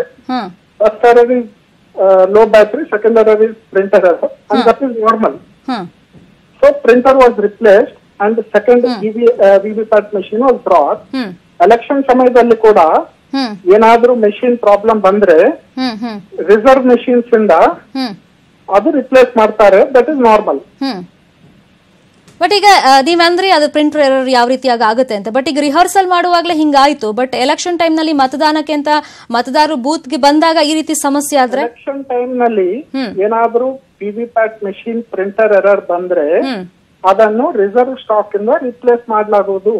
ದಟ್ ಇಸ್ ನಾರ್ಮಲ್ ಓಕೆ ಅಂದ್ರೆ ಈಗ ಒಂದಿಷ್ಟು ಜನ ಮತ ಹಾಕದ ಮೇಲೆ ಈ ರೀತಿ ಪ್ರಾಬ್ಲಮ್ ಆದ್ರೂ ರಿಪ್ಲೇಸ್ ಮಾಡಬಹುದು ಏನ್ ಸಮಸ್ಯೆ ಆಗಲ್ಲ. ಈಗ ಒಂದಿಷ್ಟು ಜನ ವೋಟ್ ಮಾಡಿರ್ತಾರೆ ಅವಾಗ ಮಧ್ಯದಲ್ಲಿ ಏನಾದ್ರೂ ಸಮಸ್ಯೆ ಆದ್ರೆ ಏನು ಮತ ಹಾಕಿರ್ತಾರಲ್ಲ ಅವ್ರದ್ದು ಏನು ಸಮಸ್ಯೆ ಆಗಲ್ಲ ಹಾಗಾದ್ರೆ. ಮೆಷಿನ್ಸ್ ಇಂದ ಯಾವಾಗ ಏನಾದ್ರೂ ಪ್ರಾಬ್ಲಮ್ ಬಂದ್ರೆ ರಿಸರ್ವ್ ಮೆಷಿನ್ಸ್ ಇರುತ್ತವೆ. ಆ ಮೆಷಿನ್ಸ್ ಇಂದ ನಾವು ರಿಪ್ಲೇಸ್ ಮಾಡ್ತೀವಿ. That is normal standard operating procedure so ಇದರಲ್ಲಿ ಟ್ವೆಂಟಿ ಏಟ್ ವೋಟ್ಸ್ ಏನು ಯಾರಿಗೆ ಪೋಲ್ ಆಗಿವೆ ಆ ಟ್ವೆಂಟಿ ಏಟ್ ವೋಟ್ಸ್ ಅವರಿಗೆನೆ ಹೋಗಿವೆ ಇದರಲ್ಲಿ ಯಾವುದೇ ಗೊಂದಲ ಇಲ್ಲ. ಓಕೆ ಸರ್ ಈಗ ಒಂದ್ ವೇಳೆ ಇನ್ನೊಂದು ಕನ್ಫ್ಯೂಷನ್ ಏನು ಅಂದ್ರೆ ಈಗ ಇವಿಎಂ ಅಲ್ಲಿ ವೋಟ್ ಮಾಡಿದೊಂದು ಈಗ ಮತದಾರರ ಮತಗಟ್ಟೆಗೆ ಹೋಗಿ ವೋಟ್ ಮಾಡಿದಾಗ ನಾವು ವೋಟ್ ಮಾಡಿದೊಂದು ಅಲ್ಲಿ ಡಿಸ್ಪ್ಲೇ ತೋರಿಸೋದು ಆದ್ರೆ ಏನ್ ಮಾಡ್ಬೇಕಾಗಾದ್ರೆ? ಹಂಗ್ ಚಾನ್ಸ್ ಇಲ್ಲ. ಇವಿಎಂ ನಲ್ಲಿ ಏನ್ ವೋಟ್ ಹಾಕ್ ಬರ್ ಏನ್ ವೋಟ್ ಬ್ಯಾಲೆಟ್ ಯೂನಿಟ್ನಲ್ಲಿ ಏನ್ ವೋಟ್ ಪ್ರೆಸ್ ಮಾಡ್ತಾರೆ ಅದೇ ಬಿಬಿ ಪ್ಯಾಟ್ನಲ್ಲಿ ಡಿಸ್ಪ್ಲೇ ಆಗ್ತದೆ. ಓಕೆ ಸರ್ ಬಟ್ ಇವತ್ತು ಇವತ್ತಾಯ್ತಲ್ಲ ಸರ್ ಬೇರೆ ತರ ಆಗ್ಲಕ್ಕೆ ಚಾನ್ಸ್ ಇಲ್ಲ. ಓಕೆ ಬಟ್ ಇವತ್ತಾಯ್ತಲ್ಲ ಸರ್ ಹಿಂಗೆ ಏನಾದ್ರು ಗೊಂದಲ ಆದ್ರೆ ಆ ಟೈಮಲ್ಲಿ? Any defect found with any machine reserve stock ಇರುತ್ತದೆ ಅದನ್ನು ರಿಪ್ಲೇಸ್ ಮಾಡ್ತಾರೆ. ಸೊ ಗೊಂದಲಗೆ ಚಾನ್ಸ್ ಇಲ್ಲ. ಓಕೆ ಬಟ್ ಈಗ ಆಫ್ಟರ್ ವೋಟಿಂಗ್ ಹಿಂಗಾಗ್ಬಿಟ್ರೆ ಏನ್ ಮಾಡಕ್ಕಾಗತ್ತೆ sir ಅದೇನಮ್ಮ any defect with any machine B L engineers ಇರ್ತಾರೆ. ಸೆಕ್ಟರ್ ಆಫೀಸರ್ಸ್ ಇರ್ತಾರೆ ಅವ್ರ ಸ್ಪಾಟ್ಗೆ ಹೋಗಿ ಏನಾದ್ರೂ ಮೆಷಿನ್ನಲ್ಲಿ ತಪ್ಪು ಇದ್ರೆ ಅದನ್ನು ರಿಪ್ಲೇಸ್ ಮಾಡ್ತಾರೆ. As part of standard operating procedure normal okay ನೀವಂದ್ರೆ immediate ಆಗಿ ರಿಪ್ಲೇಸ್ ಎಲ್ಲ ಮಾಡಬಹುದು ಅಲ್ಲಿ ಆಪರೇಟ್ ಮಾಡಬಹುದು ಅಂತ ಅಲ್ಲಿ ಇಂಜಿನಿಯರ್ಸ್ ಎಲ್ಲ ಇರ್ತಾರೆ. ಅವಶ್ಯಕತೆ ಬಿದ್ದಲ್ಲಿ ಓಕೆ ಮೆಷಿನ್ ಏನಾದ್ರೂ ಡಿಫೆಕ್ಟ್ ಇದ್ದಲ್ಲಿ ಓಕೆ that ಅದೇ ಸರ್ ಸರಿ ಓಕೆ ಇಮಿಡಿಯೇಟ್ ಆಗಿ ಏನ್ ಆಕ್ಷನ್ ತಗೋಬೇಕು ತಗೋತೀರಾ? ಬಟ್ ಅಲ್ಲಿ ತನಕ ವೋಟ್ ಆಗಿದ್ದು ಏನಾಗುತ್ತೆ ಸರ್ ಹಾಗಾದ್ರೆ ಅಲ್ಲಿ ತನಕ ಜನ ವೋಟ್ ಮಾಡಿರ್ತಾರಲ್ಲ ಅದು? ಹೌದು. ಈಗ ಮೆಷಿನ್ಸ್ ಇದು I cannot answer as per theoretical ಇದು. ಸ್ಟ್ಯಾಂಡರ್ಡ್ ಆಪರೇಟಿಂಗ್ ಪ್ರೊಸೀಜರ್ ಪ್ರತಿ ಸಿಚುವೇಶನ್ಗೆ ಒಂದು ಸ್ಟ್ಯಾಂಡರ್ಡ್ ಆಪರೇಟಿಂಗ್ ಪ್ರೊಸೀಜರ್ ಇರುತ್ತದೆ. ಆ ಸಿಚುವೇಶನ್ ಬಂದಾಗ ಆ ಸ್ಟ್ಯಾಂಡರ್ಡ್ ಆಪರೇಟಿಂಗ್ ಪ್ರೊಸೀಜರ್ ಅನ್ನು ಪಾಲಿಸಲಾಗುವುದು. ಹ್ಮ್. ಹೌದು. Of course sir. ಈಗ ಇದು ಏನು ಏನ್ ಎರರ್ ಆಗಿದೆ? ಯಾವ ರೀತಿ ಮತದಾರರಿಗೆ ಎಕ್ಸ್ಪ್ಲೈನ್ ಮಾಡಬಹುದು ಸರ್? ಅಂದ್ರೆ ಸ್ಟ್ಯಾಂಡರ್ಡ್ ಆಪರೇಟಿವ್ ಪ್ರೊಸೀಜರ್ ಅಂದ್ರೆ ಯಾವ ರೀತಿ ಹಾ. ಎಲ್ಲರಿಗೆ ವಿವರವಾಗಿ ಎಕ್ಸ್ಪ್ಲೈನ್ ಮಾಡಿದ್ವಿ. They were all satisfied twenty eight votes per poll and ballot ಯೂನಿಟ್ನಲ್ಲಿ ಮತ ಹಾಕಿದ ಟ್ವೆಂಟಿ ಏಟ್ ವೋಟ್ಸ್ ಯಾರಿಗೆ ವೋಟ್ ಹಾಕಿದ್ದಾರೆ ಅವರಿಗೆ ಹೋಗಿದೆ. ಓಕೆ ಸರ್ ಅಕಸ್ಮಾತ್ ಈಗ press completely satisfied okay sir ಅಕಸ್ಮಾತ್ ಈಗ ವೋಟ್ ಮಾಡುವಾಗಲೇ ಹಿಂಗಾದ್ರೆ ಈ ಸ್ಟ್ಯಾಂಡರ್ಡ್ ಆಪರೇಟಿವ್ ಪ್ರೊಸೀಜರ್ ಅಂದ್ರೆ ಅದು ಯಾವ ರೀತಿ ಆಗಿರುತ್ತೆ ಸರ್ ಚಿಕ್ಕದಾಗಿ ಎಕ್ಸ್ಪ್ಲೈನ್ ಮಾಡಬಹುದಾ there are many situations which might come up ಹಾ. ದೋ ಸಿಚುವೇಶನ್ಸ್ಗೆ ಪ್ರತಿಯೊಂದು ಸಿಚುವೇಶನ್ ಅಲ್ಲಿ ಸ್ಟ್ಯಾಂಡರ್ಡ್ ಆಪರೇಟಿಂಗ್ ಪ್ರೊಸೀಜರ್ ಇದೆ. That will be follow hypothetical ಸಿಚುವೇಶನ್ಸ್ಗೆ answer ಮಾಡ್ಲಿಕ್ಕೆ there is a different standard operating procedure ಅದನ್ನು ಫಾಲೋ ಮಾಡಿ. ಓಕೆ ಓಕೆ ಸರ್ ಈಗ ಫಾರ್ ಎಕ್ಸಾಂಪಲ್ ಸರ್ ಈಗ ನೂರು ಓಟ್ ಕರೆಕ್ಟ್ ಆಗಿ ಎಲ್ಲ ಓಟ್ ಮಾಡಿರ್ತಾರೆ ಮತದಾರರು ಬಂದು. ನೂರ ಒಂದನೇ ಓಟ್ ಏನಾದ್ರೂ ಈ ರೀತಿಯಾಗಿ ಏನಾದ್ರೂ ಹೆಚ್ಚು ಕಮ್ಮಿ ಆದ್ರೆ ಕನ್ಫ್ಯೂಷನ್ ಅಲ್ಲಿ ಆದ್ರೆ ಏನ್ ಮಾಡ್ಬೇಕು ಅವಾಗ I cannot answer hypothetical question hypothetical questions answer ಮಾಡ್ಲಿಕ್ಕೆ ಬರಲ್ಲ. Whenever situation which concern correct sir ಈಗ ನೀವಂದ್ರೆ standard operating procedure correct sir correct sir sir ಇನ್ನೊಂದು ಇನ್ನೊಂದು ಕ್ವಶನ್ ಇದೆ ಸರ್ ಏನು ಅಂದ್ರೆ ಈಗ ಇದು ನೋಡಿದಾಗ ಜನರಿಗೂ ಕೂಡ ಒಂದಿಷ್ಟು ಗೊಂದಲ ಬಂದೇ ಬರುತ್ತೆ. ಇದನ್ನ ಹೆಂಗಪ್ಪ ಆಪರೇಟ್ ಮಾಡಬೇಕು? ನಾವು ಹಾಕಿದ ಓಟ್ ಸರಿಯಾಗಿ ಹೋಗುತ್ತೋ ಇಲ್ವೋ ಅಂತ. ಜನರಿಗೆ ಈ ವಿವಿ ಪ್ಯಾಟ್ ಬಗ್ಗೆ ಅವರಿಗೆ ಟ್ರೈನಿಂಗ್ ನಾವು ಎಲ್ಲಾ ಸೆಕ್ಟರ್ ಆಫೀಸರ್ ನೀಡುತ್ತೀವಿ ಆ ಸೆಕ್ಟರ್ ಆಫೀಸರ್ ಜನರಿಗೆ ಅರಿವು ಮೂಡಿಸಲಿಕ್ಕೆ ಎಲ್ಲಾ ಪೋಲಿಂಗ್ ಸ್ಟೇಷನ್ಸ್ಗೆ ಮತಗಟ್ಟೆಗಳಿಗೆ ಹೋಗಿ ಜನರಿಗೆ ಕರೆದು ಅವರಿಗೆ ಡಿಮಾನ್ಸ್ಟ್ರೇಷನ್ ಮಾಡಿ ಅವೇರ್ನೆಸ್ ಕ್ರಿಯೇಟ್ ಮಾಡ್ತಾರೆ. ಸೊ ಅದು ಮಾಡೋದ್ರಿಂದ ಪ್ರಚಾರವಾಗ್ತದೆ. ಪ್ರಚಾರವಾಗುವುದರಿಂದ ಪಾರದರ್ಶಕವಾಗಿ ಫ್ರೀ ಅಂಡ್ ಫೇರ್ ಎಲೆಕ್ಷನ್ ಮಾಡ್ಲಿಕ್ಕೆ ಆಗುತ್ತೆ. ಎಸ್ ಸರ್ ಅಂದ್ರೆ ಈಗ ನಾವು ನಿಮ್ಮನ್ನ ಕ್ರಾಸ್ ಕ್ವೆಶ್ಚನ್ ಮಾಡಕ್ ಹೋಗ್ತಾ ಇಲ್ಲ ಬಟ್ ಈಗ ಜನರಿಗೂ ಕೂಡ ಒಂದ್ ರೀತಿ ಅರಿವು ಬೇಕೇ ಬೇಕು. ನೀವಂದ್ರೆ ಯಾವ ರೀತಿ ಅರಿವು ಮೂಡಿಸೋದಕ್ಕೆ ನೀವು ಕೂಡ ರೆಡಿ ಆಗಿದ್ದೀರಾ ಪ್ರಮಾಣದಲ್ಲಿ ನಾವು ಸ್ವೀಪ್ ಆಕ್ಟಿವಿಟೀಸ್ ಮಾಡ್ತಾ ಇದ್ದೀವಿ. ಹಾಗೂ awareness and demonstration of EVM VVPAT ಕೂಡ ಮಾಡ್ತಾ ಇದ್ವಿ. ಇವತ್ತು ಮಾಡಿರುವುದು ಕೂಡ ಅದಕ್ಕೆ ಭಾಗವಾಗೇ ಮಾಡಿದ್ವಿ. ಕರೆಕ್ಟ್ ಸರ್ ಕರೆಕ್ಟ್ ಸರ್ ಈಗ ಪ್ರಾತ್ಯಕ್ಷಿಕೆಯಲ್ಲೇ ಹಿಂಗ ಆಗ್ಬಿಟ್ರೆ ಒಂದ್ ರೀತಿ ಜನರ ಮನಸ್ಸಲ್ಲಿ ಒಂದ್ ಚಿಕ್ಕದ ಗೊಂದಲ ಇದ್ದೇ ಇರುತ್ತಲ್ಲ sir ಪ್ರಾತ್ಯಕ್ಷತೆಯಲ್ಲಿ nothing out of the way happened ಅದೇ ಹೇಳ್ತಾ ಇದ್ದೀನಿ ನಾನು. ವಾಟ್ ಎವರ್ ಈ ಪ್ರಿಂಟರ್ ಎರರ್ ಇದೆ ಯಾವುದೇ ಮಿಷಿನ್ ಇದು ವಿವಿ ಪ್ಯಾಟ್ಗೆ ಎರಡು ಎರರ್ಸ್ ಇರುತ್ತದೆ. ಒಂದು ಬ್ಯಾಟ್ರಿ ಲೋ ಬ್ಯಾಟ್ರಿ ಇನ್ನೊಂದು printer error that is normal that is not abnormal normal ಅದೇ ಹೇಳ್ತಾ ಇದ್ದೀನಿ. ಆಮೇಲೆ ವಿವಿ ಪ್ಯಾಟ್ ಮಾಡುವಾಗ. Twenty eight votes were polled in ballot unit ಆ ಟ್ವೆಂಟಿ ಏಟ್ ವೋಟ್ಸ್ ಕೂಡ ಯಾರಿಗೆ ಹೋಗ್ಬೇಕು ಅವ್ರಿಗೆ ಹೋಗಿವೆ. ಅದರಲ್ಲಿ ಯಾವುದೇ ಗೊಂದಲ ಇಲ್ಲ. ಓಕೆ ಬಟ್ ಸರ್ ಇನ್ನೊಂದು ಕ್ವೆಶನ್ ಇತ್ತು ಸರ್ ಅಲ್ಲೇ ಇದ್ದವ್ರು ಯಾರೋ ಹೇಳ್ತಾ ಇದ್ರು ಆಗ್ಲೇ. ಕ್ಯಾಂಡಿಡೇಟ್ ಕ್ಯಾಂಡಿಡೇಟ್ಸ್ ತುಂಬಾ ಇದ್ದಾಗ ಒಂದ್ ರೀತಿ ಕನ್ಫ್ಯೂಷನ್ ಕ್ರಿಯೇಟ್ ಆಯ್ತು. ಅದಾದ್ಮೇಲೆ ಅಧಿಕಾರಿಗಳು ಅಲ್ಲಿ ಹದಿನಾರಕ್ಕೆ ಇಳಿಸಿದ್ರು. ಅದಾದ್ಮೇಲೆ ಸರಿ ಹೋಯ್ತು ಈ ಮೆಷಿನ್ ಕರೆಕ್ಟ್ ಆಗಿ ವರ್ಕ್ ಮಾಡ್ತು ಅಂತ. ಕೆಲವು machines one ballot unit attach ಮಾಡ್ತಾರೆ. ಕೆಲವು ಮೆಷಿನ್ಸ್ಗೆ ಫೋರ್ ಬ್ಯಾಲೆಟ್ ಯೂನಿಟ್ ಅಟ್ಯಾಚ್ ಮಾಡ್ತಾರೆ depending on number of candidate okay ಹಾ. ಸೊ ಈಗ ಒನ್ ಬ್ಯಾಲೆಟ್ ಯೂನಿಟ್ಗೆ ಸಿಕ್ಸ್ಟೀನ್ ಕ್ಯಾಂಡಿಡೇಟ್ಸ್ ಇದ್ದಾಗ ಸಿಕ್ಸ್ಟೀನ್ ಕ್ಯಾಂಡಿಡೇಟ್ ನೋಟಾ ಆಗುತ್ತಾರೆ ನನ್ ಒಬ್ಬ ಸೊ ಆ ಸಿಕ್ಸ್ಟೀನ್ ಕ್ಯಾಂಡಿಡೇಟ್ಸ್ಗೆ ಮಾಡುವಾಗ twenty eight votes were polled and all the vote including journalist ಕೂಡ ವೋಟ್ ಮಾಡಿದ್ದಾರೆ. ಅಲ್ಲಿ ಏನು ಅವ್ರು ಯಾರಿಗೆ ವೋಟ್ ಮಾಡಿದ್ದಾರೆ? ಅವ್ರಿಗೆ ಅವ್ರಿಗೇನೆ ವೋಟ್ ಹೋಯ್ತು. ಒಬ್ಬರಿಗೆ ವೋಟ್ ಹಾಕಿದಾಗ ಇನ್ನೊಬ್ಬರಿಗೆ ಹೋಗಿರುವ ಪ್ರಶ್ನೆ ಇಲ್ಲ. ಯಾಕಂದ್ರೆ ಈ ballot unit is connected only to VVPAT and ಏನ್ ಕನೆಕ್ಟ್ ಆಗ್ತದೆ ಅದೇ ವಿವಿ ಪ್ಯಾಟ್ನಲ್ಲಿ ಬರ್ತದೆ. ಹ್ಮ್. Okay okay sir thank you so much sir news eighteen ಕನ್ನಡಕ್ಕೆ ರಿಯಾಕ್ಷನ್ ಕೊಟ್ಟಿದ್ದಕ್ಕೆ. ಇದು ರಾಯಚೂರು ರಾಯಚೂರು ಡಿಸಿ ಹಾಗೇನೆ ರಾಯಚೂರಿನ ಚುನಾವಣಾಧಿಕಾರಿ ಆಗಿರುವಂತ ಬಗಾದಿ ಗೌತಮ್ ಅವರ ಮಾತು. ಅಂದ್ರೆ ಒಂದಿಷ್ಟು ಕನ್ಫ್ಯೂಷನ್ ಗೊಂದಲ ಕೋರ್ಸ್ ಇದನ್ನ ನೋಡಿದಾಗ ಪ್ರಾತ್ಯಕ್ಷಿಕೆಯಲ್ಲೇ ಹಿಂಗಾಯ್ತಲ್ವಾ? ಸೊ ಇನ್ನು ವೋಟ್ ಮಾಡಕ್ ಹೋದಾಗ ಏನಾದ್ರೂ ಗೊಂದಲ ಆಗುತ್ತಾ? ನಾವು ವೋಟ್ ಹಾಕಿದ್ ಬೇರೆ ಯಾರಿಗಾದ್ರೂ ಹೋಗ್ಬಿಡುತ್ತಾ ಅಂತ ಜನರ ಮನಸ್ಸಲ್ಲೂ ಕೂಡ ಗೊಂದಲ ಇದ್ದೇ ಇರುತ್ತೆ. ಆ ಗೊಂದಲ ನಿವಾರಣೆಗೆ, ಆ ಅನುಮಾನಗಳ ನಿವಾರಣೆಗೆ ನ್ಯೂಸ್ ಏಟಿನ್ ಕನ್ನಡ ಈಗ ಪ್ರಯತ್ನವನ್ನ ಪಟ್ಟಿದ್ದು. ನೀವು ಕೇಳಿಸ್ಕೊಂಡ್ರಿ ಯಾವ ರೀತಿಯಾಗಿ ಗೌತಮ್ ಅವರು ಆ ಎಲ್ಲಾ ಕನ್ಫ್ಯೂಷನ್ ಅನ್ನ ಕ್ಲಿಯರ್ ಮಾಡಿದ್ರು ಅಂತ. ಅಲ್ಲಿ ಏನು ಅಷ್ಟೊಂದು ಗೊಂದಲ ಆಗಿಲ್ಲ ಬಟ್ ನಾವು ಜನರಿಗೂ ಕೂಡ ಅರಿವನ್ನ ಮೂಡಿಸೋಕೆ, ಚುನಾವಣಾ ಆಗೋದ ವತಿಯಿಂದ ನಾವು ಕೂಡ ಅವ್ರಿಗೆ ಒಂದ್ ರೀತಿ ಟ್ರೈನಿಂಗ್ ತರ. ಅವ್ರಿಗೂ ಕೂಡ ಒಂದು ಪ್ರಾತ್ಯಕ್ಷಿಕೆಯಲ್ಲಿ ಕರ್ಕೊಂಡ್ ಬರ್ತಾರೆ, ಈ ರೀತಿ ವೋಟ್ ಮಾಡಬೇಕು ಅಂತ ತೋರಿಸ್ತಾರೆ. ಅದಾದ್ಮೇಲೆ ರಿಯಲ್ ವೋಟಿಂಗ್ ನಡೆಯೋದು ಅಂತ ಇದೀಗ ಗೌತಮ್ ಅವರು ಕೂಡ ಮಾಹಿತಿಯನ್ನ ಕೊಟ್ಟಿದ್ದಾರೆ. ಕೊಡ್ತಾ ಇದ್ವಿ. ಇವಿಎಂ ನಲ್ಲಿ ಸಹಜವಾಗಿ ಎರಡು ತಾಂತ್ರಿಕ ದೋಷಗಳು ಆಗುತ್ತೆ. ಅದು ಸಹಜವಾದಂತ ಪ್ರಕ್ರಿಯೆ. ಬ್ಯಾಟ್ರಿ ಲೋ ಜೊತೆಗೆ ಪ್ರಿಂಟರ್ ಎರರ್ ಸಂಭಾವ್ಯ ತಾಂತ್ರಿಕ ದೋಷಗಳು ಆಗುತ್ತೆ ಅಂತ ನ್ಯೂಸ್ ಏಟೀನ್ಗೆ ಸ್ಪಷ್ಟನೆಯನ್ನ ರಾಯಚೂರು ಚುನಾವಣಾಧಿಕಾರಿಗಳು ಕೊಟ್ಟಿದ್ದಾರೆ.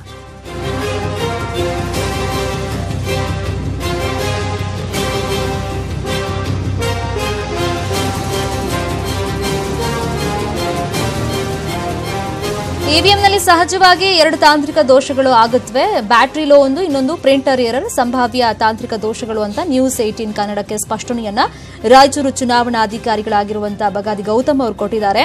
ಆದರೆ ಜನರ ಮನಸ್ಸಲ್ಲಿ ಒಂದಷ್ಟು ಸಂದೇಹಗಳು ಇದ್ದೇ ಇರುತ್ತೆ. ಅದನ್ನ ನ್ಯೂಸ್ ಏಟೀನ್ ಕನ್ನಡ ಕ್ಲಿಯರ್ ಮಾಡೋದಕ್ಕೆ ಅವರನ್ನ ಸಂಪರ್ಕ ಮಾಡಿ ಮಾತಾಡಿಸಿದ್ದು. ಮಾತಾಡ್ಸಿದ್ದು ಅವ್ರು ಹೇಳಿರೋ ಪ್ರಕಾರ ಎರಡಂತೂ ತಾಂತ್ರಿಕ ದೋಷಗಳು ಸಹಜವಾಗಿ ಕಂಡುಬರುತ್ತೆ.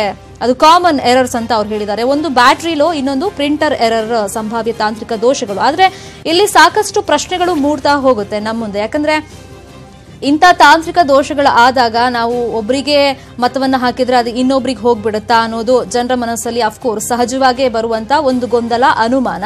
ಅದರ ಜೊತೆಗೆ ಕೆಲವೊಂದಿಷ್ಟು ತಾಂತ್ರಿಕ ದೋಷಗಳು ಅಂತ ಆದಾಗ ಅಲ್ಲಿ ತನಕ ಮತ ಹಾಕಿದ್ದು ವೇಸ್ಟ್ ಆಗಿ ಹೋಗ್ಬಿಡುತ್ತಾ ಹಾಗಾದ್ರೆ ಅನ್ನೋದು ಕೂಡ ಈಗ ಸಾಕಷ್ಟು ಚರ್ಚೆಗೆ ಬರ್ತಾ ಇರುವಂತ ವಿಷಯ. ಜೊತೆಗೆ ಆ ಗೊಂದಲ, ಆತಂಕ, ಅನುಮಾನ ಸಹಜವಾಗಿ ಮತದಾರರಲ್ಲೂ ಕೂಡ ಇದ್ದೇ ಇರುತ್ತೆ.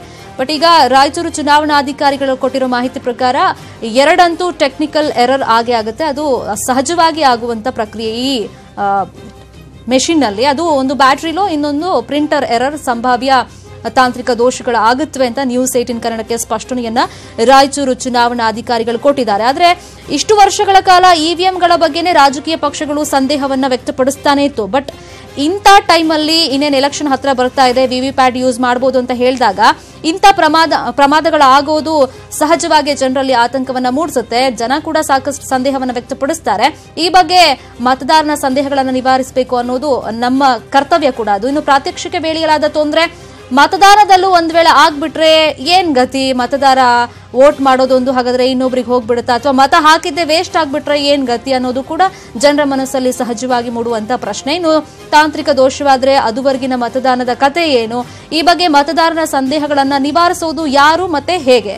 ಈ ಬಗ್ಗೆ ಜನರಲ್ಲಿ ಜಾಗೃತಿ ಮೂಡಿಸೋ ಬಗ್ಗೆ ಈಗಾಗಲೇ ಚುನಾವಣಾ ಆಯೋಗ ನಾವು ಕ್ರಮವನ್ನ ಕೈಗೊಳ್ತೀವಿ ಅಂತ ಹೇಳ್ತಾ ಇದ್ದಾರೆ. ಬಟ್ ಯಾವ ರೀತಿ ನಿವಾರಣೆ ಮಾಡ್ತಾರೆ? ಪ್ರಾತ್ಯಕ್ಷಿಕೆಯಲ್ಲೇ ಅಧಿಕಾರಿಗಳ ಮುಂದೆನೆ ಈ- ರೀತಿ ಆದ್ರೆ ಬಟ್ ಎಲೆಕ್ಷನ್ಗೆ ಅಂತ ಹೋದಾಗ ನಾವು ವೋಟ್ ಮಾಡಬೇಕು ಅಂತ ನಿಂತ್ಕೊಂಡಾಗ ವೋಟ್ ಅಲ್ಲೇ ಈ ರೀತಿ ಎಲ್ಲ ಆಗ್ಬಿಟ್ರೆ ನಾವು ಹಾಕಿರೋ ಮತ ವೇಸ್ಟ್ ಆಗ್ಬಿಡುತ್ತೆ? ಅಥವಾ ನಾವು ಯಾರಿಗೋ ಒಂದು ಒತ್ತಿದ್ರೆ ಮೆಷಿನ್ ಅಲ್ಲಿ ಇನ್ಯಾರಿಗೋ ಡಿಸ್ಪ್ಲೇ ಆದ್ರೆ ನಮ್ಮ ವೋಟ್ ಎಕ್ಸ್ಚೇಂಜ್ ಆಗ್ಬಿಡುತ್ತಾ? ಹೀಗೆ ಸಾಕಷ್ಟು ಗೊಂದಲಗಳು ಜನರಲ್ಲೂ ಕೂಡ ಇದೆ, ಸಂದೇಹಗಳು ಜನರಲ್ಲಿ ಇದೆ. ಇನ್ನು ಪ್ರಾತ್ಯಕ್ಷಿಕೆ ವೇಳೆಯಲ್ಲೇ ಈ ರೀತಿ ತೊಂದರೆ ಆದರೆ, ಮತದಾನದಲ್ಲಿ ಈ ರೀತಿ ಏನಾದ್ರು ಆಗ್ಬಿಟ್ರೆ ತಾಂತ್ರಿಕ ದೋಷಗಳಾದ್ರೆ ಅಥವಾ ಏನಾದರೂ ಟೆಕ್ನಿಕಲ್ ಎರರ್ ಆದ್ರೆ ಏನ್ ಗತಿ ಅನ್ನೋದು ಸಹಜವಾಗಿ ಮೂಡೋ ಪ್ರಶ್ನೆ. ಅದ್ರ ಜೊತೆಗೆ ತಾಂತ್ರಿಕ ದೋಷ ಆದ್ರೆ ಅಲ್ಲಿ ತನಕ ವೋಟ್ ಮಾಡಿದ್ದು ವೇಸ್ಟ್ ಆಗ್ಬಿಡುತ್ತಾ? ಮತದಾರರು ಅಲ್ಲಿ ತನಕ ಯಾರೆಲ್ಲ ಬಂದು ವೋಟ್ ಬೂತ್ಗೆ ವೋಟ್ ಮಾಡಿ ಹೋಗಿರ್ತಾರೆ, ತಮ್ಮ ಹಕ್ಕನ್ನ ಚಲಾವಣೆ ಮಾಡಿರ್ತಾರೆ, ಅದೆಲ್ಲ ವೇಸ್ಟ್ ಆಗ್ಬಿಡುತ್ತಾ? ಹೀಗೆ ಸಹಜವಾಗಿ ಒಂದಿಷ್ಟು ಪ್ರಶ್ನೆಗಳು ಮೂಡ್ತಾ ಹೋಗುತ್ತೆ. ಆದ್ರೆ ಈ ಬಗ್ಗೆ ಮತದಾರನ ಸಂದೇಹಗಳನ್ನ ನಿವಾರಿಸುವುದು ಹೇಗೆ? ಅದ್ರ ಜೊತೆಗೆ ಜನರಲ್ಲಿ ಅರಿವು ಮೂಡಿಸೋ ಅಗತ್ಯ ಕೂಡ ಇದೆ ಬಟ್ ಅರಿವು ಮೂಡಿಸೋದು ಹೇಗೆ, ಯಾರು ಅನ್ನೋದು ಕೂಡ ಇಲ್ಲಿ ಪ್ರಶ್ನೆ. ಯಾಕಂದ್ರೆ ಇಷ್ಟು ವರ್ಷಗಳ ಕಾಲ ಇವಿಎಂ ಬಗ್ಗೆ ಸಾಕಷ್ಟು ರಾಜಕೀಯ ಪಕ್ಷಗಳೇ ಸಂದೇಹವನ್ನ ವ್ಯಕ್ತಪಡಿಸ್ತಾ ಇದ್ವು, ಅನುಮಾನಗಳನ್ನ ವ್ಯಕ್ತಪಡಿಸ್ತಾ ಇದ್ವು. ಆದ್ರೆ ಈ ಟೈಮಲ್ಲಿ ಪ್ರಾತ್ಯಕ್ಷಿಕೆ ಮಾಡುವಾಗಲೇ ಈ ರೀತಿ ಪ್ರಮಾದ ಆಗಿರೋದು ಸಾಕಷ್ಟು ಆತಂಕಕ್ಕೆ ಕಾರಣವಾಗಿದೆ. ಅವರಿಗೆ ಇವಿಎಂ ಹಾಗೂ ವಿವಿಪ್ಯಾಟ್ ಏನು ಮೆಷಿನ್ಸ್ ಇರ್ತವೆ ರಿಸರ್ವ್ ಇರುತ್ತೆ ಅವ್ರು ಅವ್ರು ರಿಪ್ಲೇಸ್ ಮಾಡ್ತಾರೆ. ಮತಗಟ್ಟೆ ಅಧಿಕಾರಿಗಳನ್ನೇ ಮತಗಟ್ಟೆ ಅವರಿಗೆ.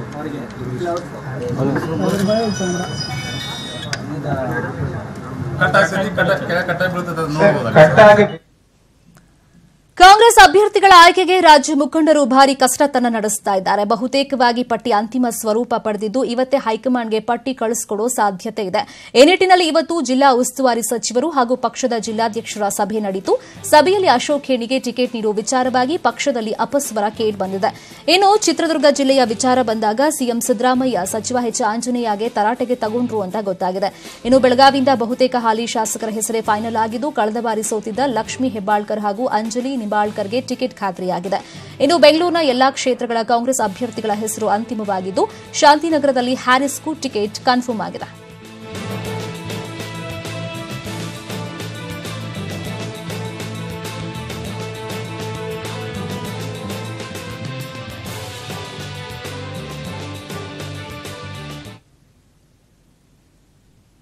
ಕಾಂಗ್ರೆಸ್ ಪಕ್ಷ ಬೀದರ್ ಜಿಲ್ಲೆಯಿಂದ ಆರು ಅಭ್ಯರ್ಥಿಗಳನ್ನು ನಾವೆಲ್ಲರೂ ಒಗ್ಗಟ್ಟಾಗಿ ಒಗ್ಗೂಡಿ ಗೆಲ್ಸ್ಕೊಡ್ತೀವಿ ಅನ್ನುವಂತ ಒಂದು ವಿಶ್ವಾಸ, ನಂಬಿಕೆ ನಾನು ಪಕ್ಷದ ವರಿಷ್ಠರಿಗೆ ಮತ್ತು ಕೆಪಿಸಿಸಿ ಅಧ್ಯಕ್ಷರಿಗೆ ಮತ್ತು ಮುಖ್ಯಮಂತ್ರಿಗಳಿಗೆ ಕೊಟ್ಟಿದ್ದೆ ಎಲ್ಲಾ ವಿಚಾರಗಳು ವರಿಷ್ಠರ ಗಮನಕ್ಕೆ ತರಲಾಗಿದೆ. ಅಂತಿಮವಾದಂತಹ ತೀರ್ಮ- ತೀರ್ಮಾನವನ್ನು ಕಾಂಗ್ರೆಸ್ ಪಕ್ಷದ ವರಿಷ್ಠರು ತೆಗೆದುಕೊಳ್ತಾರೆ. ಕಾಂಗ್ರೆಸ್ ನಮ್ಮ ಅಭಿಪ್ರಾಯನ ಕೇಳಿದ್ರು, ನಮ್ಮ ಅಭಿಪ್ರಾಯನ ಬಂದಿದ್ದೀನಿ ಅಂತ ಹೇಳ್ಬೋದು. ಆರು ಜನ ನನ್ನ ಜಿಲ್ಲೆಯಲ್ಲಿ ಆರು ಕ್ಷೇತ್ರಗಳ ಬಗ್ಗೆ ಚರ್ಚೆ ಮಾಡಿದ್ದಾರೆ. ಪಾರ್ಟಿ ಇವ್ರನ್ನೇ ಅಭ್ಯರ್ಥಿ ಅಂತೇಳಿ ಆಯ್ಕೆ ಮಾಡಿ ಪಟ್ಟಿ ಪ್ರಕಟಿಸೋವರೆಗೂ ಬಿ ಫಾರ್ಮ್ ಕೊಡೋವರೆಗೂ ಕೂಡ ನಾವು ಆಕಾಂಕ್ಷಿಗಳೇ ಹೊರತು ನಾವೇ ಅಭ್ಯರ್ಥಿಗಳು ಅಂತ ಹೇಳಿ ಘೋಷಣೆ ಮಾಡಿಕೊಳ್ಳುವಂತ ಕೆಟ್ಟ ಸಂಪ್ರದಾಯ ನಮ್ಮ ಪಾರ್ಟಿಯಲ್ಲಿ ಇಲ್ಲ. ಹೈಕಮಾಂಡ್ ಹೇಳಿದ್ರೆ ಆದ್ರೆ ಮಂಡ್ಯದಿಂದ ಇನ್ನೂ ಕೂಡ ಕಾಂಗ್ರೆಸ್ ಟಿಕೆಟ್ ಅನ್ನು ಅಂಬರೀಶ್ ಅವರು ಕೇಳಿಲ್ಲ. ಹಾಲಿ ಶಾಸಕರಾಗಿದ್ರೂ ಕೂಡ ಟಿಕೆಟ್ಗಾಗಿ ಅಂಬರೀಶ್ ಅವರು ಅರ್ಜಿಯನ್ನ ಈ ತನಕ ಹಾಕಿಲ್ಲ ಅಂತ ಗೊತ್ತಾಗಿದೆ. ಈ ಹಿನ್ನೆಲೆಯಲ್ಲಿ ಮಂಡ್ಯದ ಬಗ್ಗೆ ಕೆಪಿಸಿಸಿ ಸಭೆಯಲ್ಲಿ ಒಂದಿಷ್ಟು ಗೊಂದಲ ಉಂಟಾಯಿತು. ಚರ್ಚೆಗೆ ಬಂದಾಗ ಮಂಡ್ಯದ ಟಿಕೆಟ್ ಯಾರಿಗೆ ಕೊಡೋದು ಅಂತ ಸಿಎಂ ಸಿದ್ದರಾಮಯ್ಯ ಹಾಗೇನೆ ಪರಮೇಶ್ವರ್ ಚರ್ಚೆಯನ್ನ ಮಾಡ್ತಾ ಇದ್ರು. ಆ ಟೈಮ್ನಲ್ಲಿ ಸ್ವಲ್ಪ ಗೊಂದಲ ಉಂಟಾಯಿತು. ಇನ್ನು ಶಾಸಕ ಅಂಬರೀಷ್ ಇದ್ದಾರೆ. ಅವರನ್ನ ಕೇಳಿ ತೀರ್ಮಾನಿಸಿ ಅಂತ ಸಭೆಯಲ್ಲಿ ಮಂಡ್ಯ ಉಸ್ತುವಾರಿ ಸಚಿವ ಎಂ ಕೃಷ್ಣಪ್ಪ ಹೇಳಿಕೆಯನ್ನ ಆ ಟೈಮ್ನಲ್ಲಿ ಕೊಟ್ಟಿದ್ದಾರೆ ಅಂತ ಗೊತ್ತಾಗಿದೆ.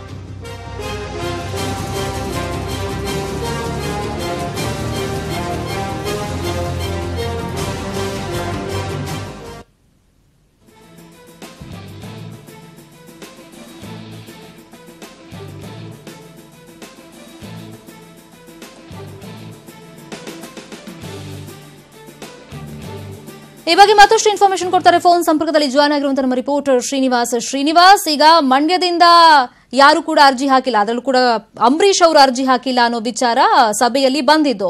ಬಟ್ ಅಂಬರೀಶ್ ಅವ್ರನ್ನ ಕೇಳಿದ್ರೆ ಅವ್ರು ಟಿಕೆಟ್ ಕೊಡ್ತಾರೆ, ಕೊಟ್ರೆ ನಾನು ನಿಲ್ತೀನಿ ಅಂತ ಅವ್ರು ಒಂದ್ ರೀತಿ ಸ್ಟೇಟ್ಮೆಂಟ್ ಅನ್ನ ಕೊಡ್ತಿದ್ದಾರೆ. ಅಂದ್ರೆ ಫೈನಲ್ ಆಯ್ತಾ ಏನಾದ್ರು ಮೀಟಿಂಗ್ ಅಲ್ಲಿ ಈ ಬಗ್ಗೆ?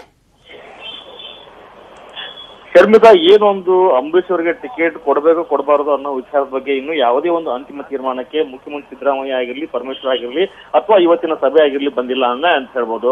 ಯಾಕಂದ್ರೆ ಅಂಬರೀಷ್ ಅವರು ಈಗ ಸಭೆಗೂ ಕೂಡ ಬಂದಿಲ್ಲ, ರಾಹುಲ್ ಗಾಂಧಿ ಯಾತ್ರೆ ಕೂಡ ಬಂದಿಲ್ಲ. ಜೊತೆಗೆ ಕೆಪಿಸಿಸಿಗೆ ನನಗೆ ಆಕಾಂಕ್ಷೆ ಅಂತ ಅವರು ಅರ್ಜಿಯನ್ನು ಕೂಡ ಹಾಕಿಲ್ಲ. ಅಷ್ಟೇ ಅಲ್ಲ ಹೈಕಮಾಂಡ್ಗಾಗ್ಲಿ ಅಥವಾ ಕೆಪಿಸಿ ಅಧ್ಯಕ್ಷನಾಗಲಿ ಅಥವಾ ಮುಖ್ಯಮಂತ್ರಿ ಸಿದ್ದರಾಮಯ್ಯನವ್ರನ್ನಾಗ್ಲಿ ಭೇಟಿ ಮಾಡಿ, ನಾನು ಕಂಟೆಸ್ಟ್ ಮಾಡ್ತೀನಿ ಅಂತ ಹೇಳಿಲ್ಲ. ಒಂದ್ ವೇಳೆ ಕಂಟೆಸ್ಟ್ ಮಾಡದೆ ಹೋದ್ರೆ ನಮ್ಮ ಕುಟುಂಬದ ಸದಸ್ಯರು ಇವರಾದ್ರೂ ಕಂಟೆಸ್ಟ್ ಮಾಡ್ತಾರೆ ಅಂತಕ್ಕಂಥ ಮಾತನ್ನು ಕೂಡ ಅಂಬರೀಶ್ ಅವರು ಹೇಳಿಲ್ಲ.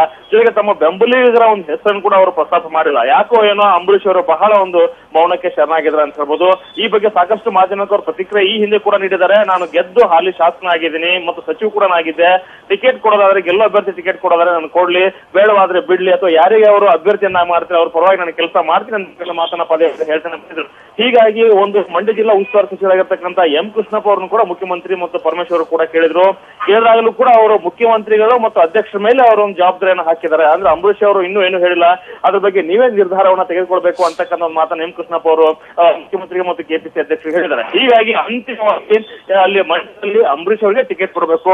ಆ ನಿಟ್ಟಿನಲ್ಲಿ ಅಂಬರೀಶ್ ಜೊತೆ ನಾನು ಮಾತಾಡ್ತೀನಿ ಅಂತಕ್ಕಂಥ ಜವಾಬ್ದಾರಿಯನ್ನು ಮುಖ್ಯಮಂತ್ರಿಗಳು ವಹಿಸಿಕೊಂಡಿದ್ದಾರೆ. ಹೀಗಾಗಿ ಮಂಡ್ಯದಲ್ಲಿ ಅಂಬರೀಶ್ ಅವರಿಗೆ ಟಿಕೆಟ್ ಅಂತಕ್ಕಂಥ ಒಂದು ಹೆಸರನ್ನು ಫೈನಲ್ ಮಾಡಿದ್ದು ಮತ್ಯಾವ ಒಂದು ಪರ್ಯಾಯ ಹೆಸರನ್ನು ಕೂಡ ನಮ್ಮ ಮುಂದೆ ಮಾಡಿಲ್ಲ. ಹೀಗಾಗಿ ಈ ಒಂದು ಅಂತಿಮವಾಗಿರ್ತಕ್ಕಂಥ ಪಟ್ಟಿ ಸ್ಕ್ರೀನಿಂಗ್ ಕಮಿಟಿ ಏನ್ ನಡೀತಿದೆ, ಇವರು ಹೈಕಮಾಂಡ್ ಕಳಿಸ್ತಾರೆ. ಹೈಕಮಾಂಡ್ ಅಲ್ಲಿ ಏನೋ ಒಂದು ಸ್ಕ್ರೀನಿಂಗ್ ಕಮಿಟಿ ಇದೆ. ಆ ಸ್ಕ್ರೀನಿಂಗ್ ಕಮಿಟಿ ಅಂತಿಮ ಮಾಡಿ ಒಂದು ಕೇಂದ್ರ ಚುನಾವಣಾ ಸಮಿತಿ ಅಂತ ಏನಿದೆ ಕಾಂಗ್ರೆಸ್ ಅಲ್ಲಿ ಅದು ಅಂತಿಮವಾಗಿರ್ತಕ್ಕಂಥ ತೀರ್ಮಾನವನ್ನ ತೆಗೆದುಕೊಳ್ಳುತ್ತೆ. ಅಂದ್ರೆ ಅಂಬರೀಶ್ ಅವರಿಗೆ ಟಿಕೆಟ್ ಕೊಡಬೇಕು, ಕೊಡಬಾರದು ಅಂತಕ್ಕಂಥ ತೀರ್ಮಾನವನ್ನ ಮುಖ್ಯಮಂತ್ರಿ ಅವರು ಅಂಬರೀಶ್ ಜೊತೆ ಮಾತಾಡ್ತಾರೆ. ಮಾತಾಡಿದ ಬಳಿಕ ಅದನ್ನ ಹೈಕಮಾಂಡ್ಗೆ ತಿಳಿಸ್ತಾರೆ. ಅಂತಿಮವಾಗಿ ಹೈಕಮಾಂಡ್ ಈ ಒಂದು ವಿಚಾರದಲ್ಲಿ ಅಂತಿಮವಾಗಿರ್ತಕ್ಕಂಥ ತೀರ್ಮಾನವನ್ನ ತೆಗೆದುಕೊಳ್ಳಲಿದೆ Sharmita. Okay thank you Srinivas ಆಮೇಲೆ ಇನ್ಫಾರ್ಮೇಶನ್ಗೆ ಇದೀಗ ವೀರಪ್ಪ ಮೊಯ್ಲಿ ಅವ್ರು ಮಾತಾಡ್ತಿದ್ದಾರೆ, ಏನು ಹೇಳ್ತಾರೆ? ನೋಡ ಬನ್ನಿ. ಪ್ರಿಯಾಂಕಾ ಖಾರ್ಗೆ, ಮಾನ್ಯ ಜಾರ್ಜ್ ಅವರು, ಮತ್ತು ನಮ್ಮ ಪ್ರದೇಶ್ ಕಾಂಗ್ರೆಸ್ ಸಮಿತಿಯ ಕಾರ್ಯಾಧ್ಯಕ್ಷರಾದಂಥ ಮಾನ್ಯ ದಿನೇಶ್ ಗುಂಡೂರಾವ್ ಅವರು, ಎಸ್ ಆರ್ ಪಾಟೀಲ್ ಅವರು, ಅನೇಕ ಸದಸ್ಯರು ಕೂಡ ಭಾಗವಹಿಸಿದರು ಒಂದು ಪ್ರಥಮ ಒಂದು ಕರಡನ್ನು, ಚುನಾವಣಾ ಕರಡನ್ನು ಇವತ್ತು ಪರಿಶೀಲಿಸಿ, ಅದರ ಬಗ್ಗೆ ಸುಮಾರು ಐದು ಗಂಟೆಯಿಂದ ಸುಮಾರು ಒಂದು ಎರಡು ಗಂಟೆ, ಎರಡೂವರೆ ಗಂಟೆಗಳ ಕಾಲ ದೀರ್ಘವಾದಂಥ ಚರ್ಚೆಯಾಗಿ ಕೆಲವು ಹೊಸ ಸೂಚನೆಗಳು ಬಂದಿವೆ. ಅದನ್ನೆಲ್ಲ ಪರಿಶೀಲನೆ ಮಾಡಿ ಆದಿತ್ಯವಾರದ ಒಳಗಡೆ ಏನಾದರೂ ಇನ್ನೂ ಹೆಚ್ಚು ಸಲಹೆ ಇದ್ದರೆ ಅದನ್ನು ಕೊಡಬೇಕು ಅಂತೇಳಿ ಎಲ್ಲ ಸದಸ್ಯರ ಹತ್ರ ವಿನಂತಿ ಮಾಡಿಕೊಂಡಿದ್ದೇನೆ.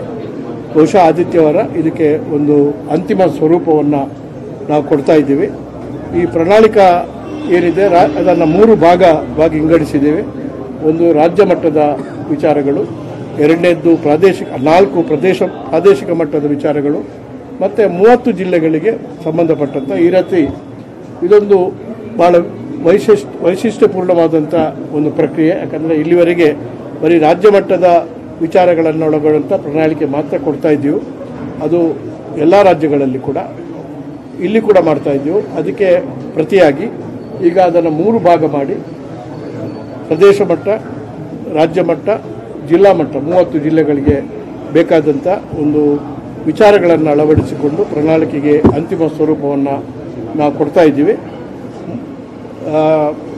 ನಾಡ್ದು ಆದಿತ್ಯವಾರದವರೆಗೆ ನಾವು ಇನ್ನೂ ಸದಸ್ಯರಿಗೆ ಸಮಯಾವಕಾಶ ಕೊಟ್ಟಿದ್ದೇವೆ. ಅದರ ಒಳಗಡೆ ವಿಚಾರಗಳನ್ನು ತಿಳಿಸಿದ ಮೇಲೆ ಅದಕ್ಕೆ ಅಂತಿಮ ಸ್ವರ ಕೊಡ್ತೇವೆ. ಮತ್ತು ಇದನ್ನು ಬಿಡುಗಡೆ ಸಮಾರಂಭ ಕೂಡ ಭಾಳ ವೈಶಿಷ್ಟ್ಯಪೂರ್ಣವಾಗಿ ಜರುಗುತ್ತದೆ ಏನಂತ ಹೇಳಿದ್ರೆ ನಮ್ಮ ಪ್ರದೇಶ ಕಾಂಗ್ರೆಸ್ ಅಧ್ಯಕ್ಷರು ಮತ್ತು ಮಾನ್ಯ ಮುಖ್ಯಮಂತ್ರಿಗಳು, ಈ ಬಗ್ಗೆ ನಮ್ಮ ಭಾರತ ರಾಷ್ಟ್ರ ಕಾಂಗ್ರೆಸ್ನ ಅಧ್ಯಕ್ಷರಾದಂಥ ರಾಹುಲ್ ಗಾಂಧಿ ಅವರ ವಿನಂತಿ ಮಾಡಿಕೊಳ್ತಾ ಇದ್ದಾರೆ.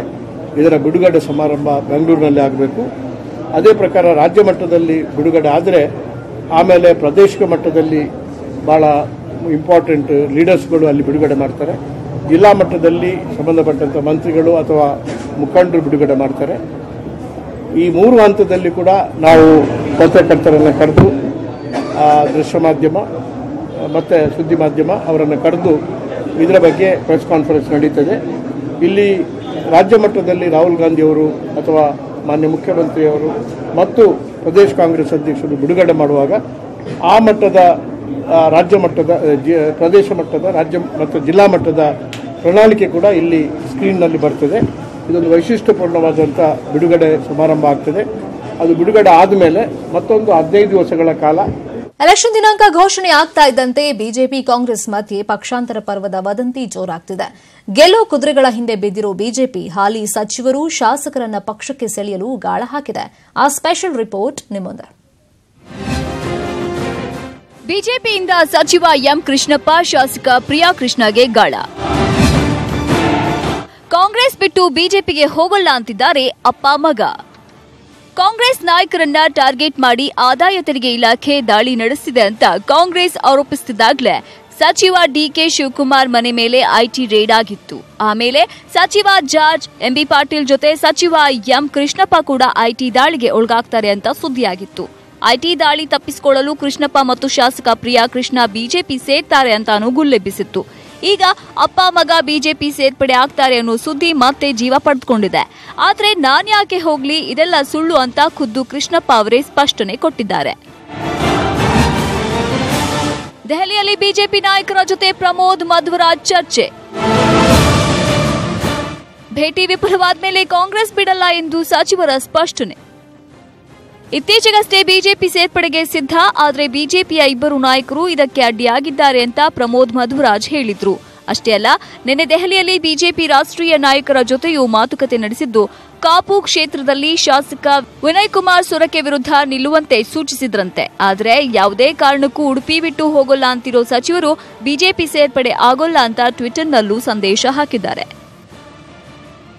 ಚುನಾವಣೆಗೆ ಡೇಟ್ ಅನೌನ್ಸ್ ಆಗಿ ಹೋಗಿದೆ. ಕುರ್ಚಿ ಉಳಿಸಿಕೊಳ್ಳಲು ಕಾಂಗ್ರೆಸ್ ಅಧಿಕಾರಕ್ಕೆ ಬರಲು ಬಿಜೆಪಿ ಹಪಾಪಿಸ್ತಾ ಇದೆ. ಒಟ್ನಲ್ಲಿ ಅಭ್ಯರ್ಥಿಗಳ ಪಟ್ಟಿ ಫೈನಲ್ ಆದ್ಮೇಲೂ ಕೂಡ ಯಾರ್ಯಾರು ಯಾವ್ಯಾವ ಪಕ್ಷ ಸೇರ್ತಾರೋ, ಪಕ್ಷಾಂತರ ಪರ್ವ ನಡೆಸ್ತಾರೋ ಕಾದ್ ನೋಡಬೇಕು. Political bureau news eighteen Kannada ಇನ್ನು ರಾಜ್ಯದಲ್ಲಿ ಚುನಾವಣಾ ದಿನಾಂಕ ಘೋಷಣೆಯಾಗ್ತಾ ಇದ್ದಂತೆ ಅಖಾಡ ರಂಗೇರ್ತಾ ಇದೆ. ಎಲ್ಲಾ ರಾಜಕೀಯ ಪಕ್ಷಗಳಲ್ಲಿ ಬಿರುಸಿನ ಚಟುವಟಿಕೆ ಶುರುವಾಗಿದೆ. ಬಿಜೆಪಿ ಪಕ್ಷದಲ್ಲಿ ಮೂರು ಹಂತದಲ್ಲಿ ಅಭ್ಯರ್ಥಿಗಳ ಪಟ್ಟಿ ಬಿಡುಗಡೆ ಮಾಡಲಿದ್ದು, ಏಪ್ರಿಲ್ ಎರಡರಂದು ಮೊದಲ ಪಟ್ಟಿ ಬಿಡುಗಡೆ ಮಾಡೋಕೆ ಬಿಜೆಪಿ ನಿರ್ಧರಿಸಿದೆ.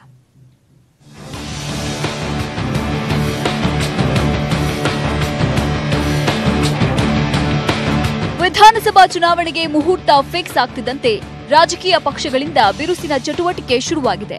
ಏಪ್ರಿಲ್ ಎರಡರಂದು ಬಿಜೆಪಿಯ ಎ ವರ್ಗದಲ್ಲಿರುವ ನೂರ ಹದಿನೈದು ಅಭ್ಯರ್ಥಿಗಳ ಪಟ್ಟಿ ರಿಲೀಸ್ ಮಾಡಲಿದ್ದು, ಗೆಲ್ಲುವ ಅಭ್ಯರ್ಥಿಗಳಿಗೆ ಮೊದಲ ಆದ್ಯತೆ ನೀಡಿದೆ ಅನ್ನಲಾಗಿದೆ.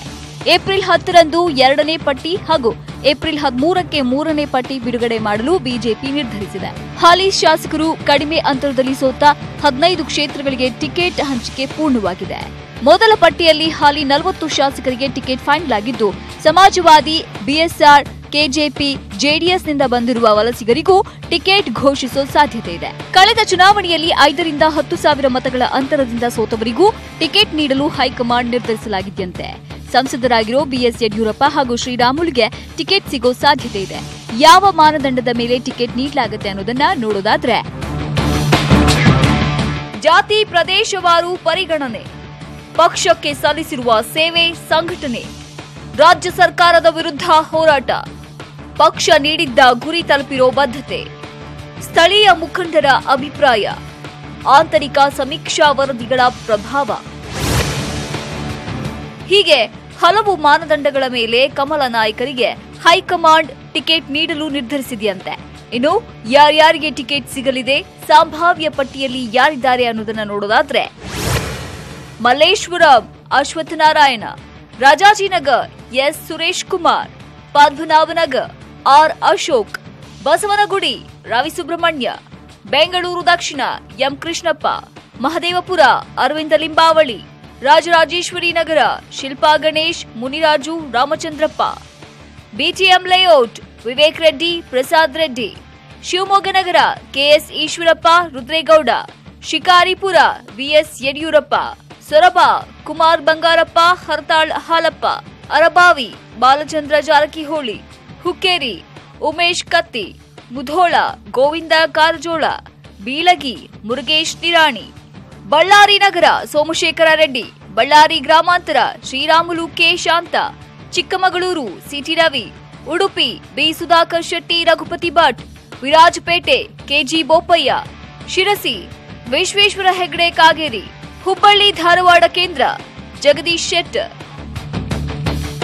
ಇಷ್ಟೇ ಅಲ್ಲದೆ ವಲಸಿಗರಿಗೂ ಟಿಕೆಟ್ ಕರುಣಿಸೋ ಸಾಧ್ಯತೆ ಇದ್ದು ಆ ಅಭ್ಯರ್ಥಿಗಳ ಪಟ್ಟಿಯೂ ಫೈನಲ್ ಆಗಿದೆಯಂತೆ. ಆ ಪಟ್ಟಿಯಲ್ಲಿ ಯಾರಿದ್ದಾರೆ ಅಂತ ನೋಡೋದಾದ್ರೆ Channapatna, C P Yogeshwar, Kudachi, Rajeev, Molakalmuru, S Thippeswamy, Raichur, doctor Shivaraj Patil, Lingasugur, Manappa Vajjar ಹೀಗೆ ಬಿಜೆಪಿಯ ನೂರ ಇಪ್ಪತ್ತು ಅಭ್ಯರ್ಥಿಗಳ ಪಟ್ಟಿ ವಾರಾಂತ್ಯದೊಳಗೆ ರಿಲೀಸ್ ಆಗೋ ಸಾಧ್ಯತೆ ಇದೆ. ನಾನು ಇನ್ನೊಂದು ಎರಡು ಮೂರು ದಿನ ಬಿಟ್ಟು ಡೆಲ್ಲಿಗೆ ಹೋಗ್ತೀನಪ್ಪ. ಡೆಲ್ಲಿನಲ್ಲಿ ಮಾತುಕತೆ ಆಡ್ಕೊಂಡು ಬಂದು ಬಿಡುಗಡೆ ಮಾಡಿ. ಬೆಂಗಳೂರು ವ್ಯಾಪ್ತಿಯ ಇಪ್ಪತ್ತೆಂಟು ಕ್ಷೇತ್ರಗಳ ಪೈಕಿ ಇಪ್ಪತ್ನಾಲ್ಕು ಕ್ಷೇತ್ರಗಳ ಪಟ್ಟಿ ಸಿದ್ಧವಾಗಿದೆ. ಈ ನಡುವೆ ಮೂರಂಕಿಗಿಂತ ಹೆಚ್ಚು ಆಕಾಂಕ್ಷಿಗಳಿರೋ ಕ್ಷೇತ್ರಗಳ ಪಟ್ಟಿ ಬಿಡುಗಡೆ ಸದ್ಯಕ್ಕಿಲ್ಲ ಹೀಗಾಗಿಯೇ ಯಶವಂತಪುರ ರಾಜರಾಜೇಶ್ವರಿ ನಗರ ಬ್ಯಾಟ್ರಾಯನಪುರ ಗಾಂಧಿನಗರ ಕ್ಷೇತ್ರಗಳ ಅಭ್ಯರ್ಥಿಗಳ ಆಯ್ಕೆ ವಿಳಂಬವಾಗಲಿದೆಯಂತೆ. ಒಟ್ಟಿನಲ್ಲಿ ಯಾರಿಗೆ ಟಿಕೆಟ್ ಸಿಗಲಿದೆ, ಯಾರಿಗೆ ಕೋಕ್ ಕೊಡ್ತಾರೆ ಅಂತ ಕಾದ್ ನೋಡಬೇಕು.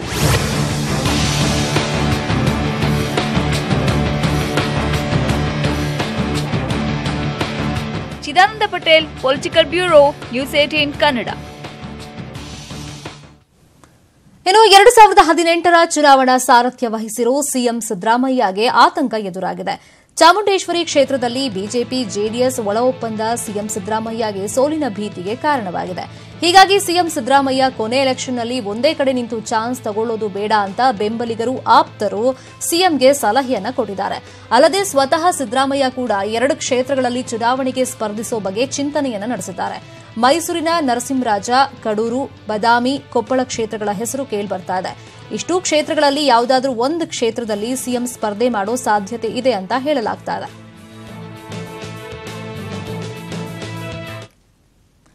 ಇನ್ನು ಚಾಮುಂಡೇಶ್ವರಿ ಕ್ಷೇತ್ರದಲ್ಲೇ ಸಿದ್ದರಾಮಯ್ಯ ಕಣಕ್ಕಿಳಿಲಿ. ಅವರ ಸೋಲಿನ ಪ್ರತಿಕ್ರಿಯೆ ನೀಡಲು ನಾನ್ ಮೈಸೂರಿಗೆ ಬರ್ತೀನಿ ಅಂತ ಜೆಡಿಎಸ್ ರಾಜ್ಯಾಧ್ಯಕ್ಷ ಎಚ್ ಡಿ ಕುಮಾರಸ್ವಾಮಿ ವ್ಯಂಗ್ಯವಾಡಿದ್ದಾರೆ. ಮೈಸೂರಲ್ಲಿ ಮಾತನಾಡಿದ ಅವರು, ನಾಮಪತ್ರ ಸಲ್ಲಿಸಿದಾಗ ಚಾಮುಂಡೇಶ್ವರಿ ಸ್ಪರ್ಧೆ ಬಗ್ಗೆ ಮಾತನಾಡೋಣ. ಸಿದ್ದರಾಮಯ್ಯ ಕೊನೆ ಗಳಿಗೆವರೆಗೂ ಚಾಮುಂಡೇಶ್ವರಿಯಲ್ಲಿ ನಿಲ್ಲಲ್ಲ. ವರುಣ ಚಾಮುಂಡೇಶ್ವರಿ ನರಸಿಂಹರಾಜ ಕ್ಷೇತ್ರದಲ್ಲಿ ಸರ್ವೆ ನಡೆಸಿದ್ದು, ನಾನೇ ಮುಸ್ಲಿಮರ ಚಾಂಪಿಯನ್ ಅಂತ ತಿಳಿದು ನರಸಿಂಹರಾಜ ಕ್ಷೇತ್ರಕ್ಕೆ ಬರಲು ಸಿಎಂ ಸಿದ್ದವಾಗಿದ್ದಾರೆ ನೋಡೋಣ ಸಿದ್ದರಾಮಯ್ಯ ಎಲ್ಲಿ ನಿಲ್ತಾರೆ ಅಂತ ಎಚ್ಡಿಕೆ ವ್ಯಂಗ್ಯವಾಡಿದ್ದಾರೆ. ಉಡಾಫೆ ಮಾತುಗಳು ಸಿದ್ದರಾಮಯ್ಯನವ್ರದ್ದು. ಅವ್ರ ಭಾಷೆಯಲ್ಲಿ ಹೇಳೋದಾದ್ರೆ ಡೋಂಗೆ ಮಾತುಗಳಷ್ಟೇ ಅವರು ನನ್ನ ಅಭಿಪ್ರಾಯ ಚಾಮುಂಡೇಶ್ವರಿಯಲ್ಲಿ ನಿಂತರೆ ಇವತ್ತೇ ನೀವು ಬರೆದಿಟ್ಕೊಳ್ಳಿ. ಹದಿನೈದನೇ ತಾರೀಕು ಚುನಾವಣಾ ಫಲಿತಾಂಶ ಬರುತ್ತಲ್ಲ ನಾನು ಎಲ್ಲೇ ಇದ್ದರೂ ಮೈಸೂರಿಗೆ ಬಂದ್ಬಿಡ್ತೀನಿ ನಿಮ್ಮ ಹತ್ರಕ್ಕೆ ಅವರ ಚುನಾವಣೆಯ ಫಲಿತಾಂಶ ಇದೆಯಲ್ಲ ಸೋಲು. ಆ ಸೋಲಿನ ಬಗ್ಗೆ ನಿಮ್ಮ ಜೊತೆ ಬಂದು ನಾನೇ ಕೂತು ಚರ್ಚೆ ಮಾಡ್ತೀನಿ.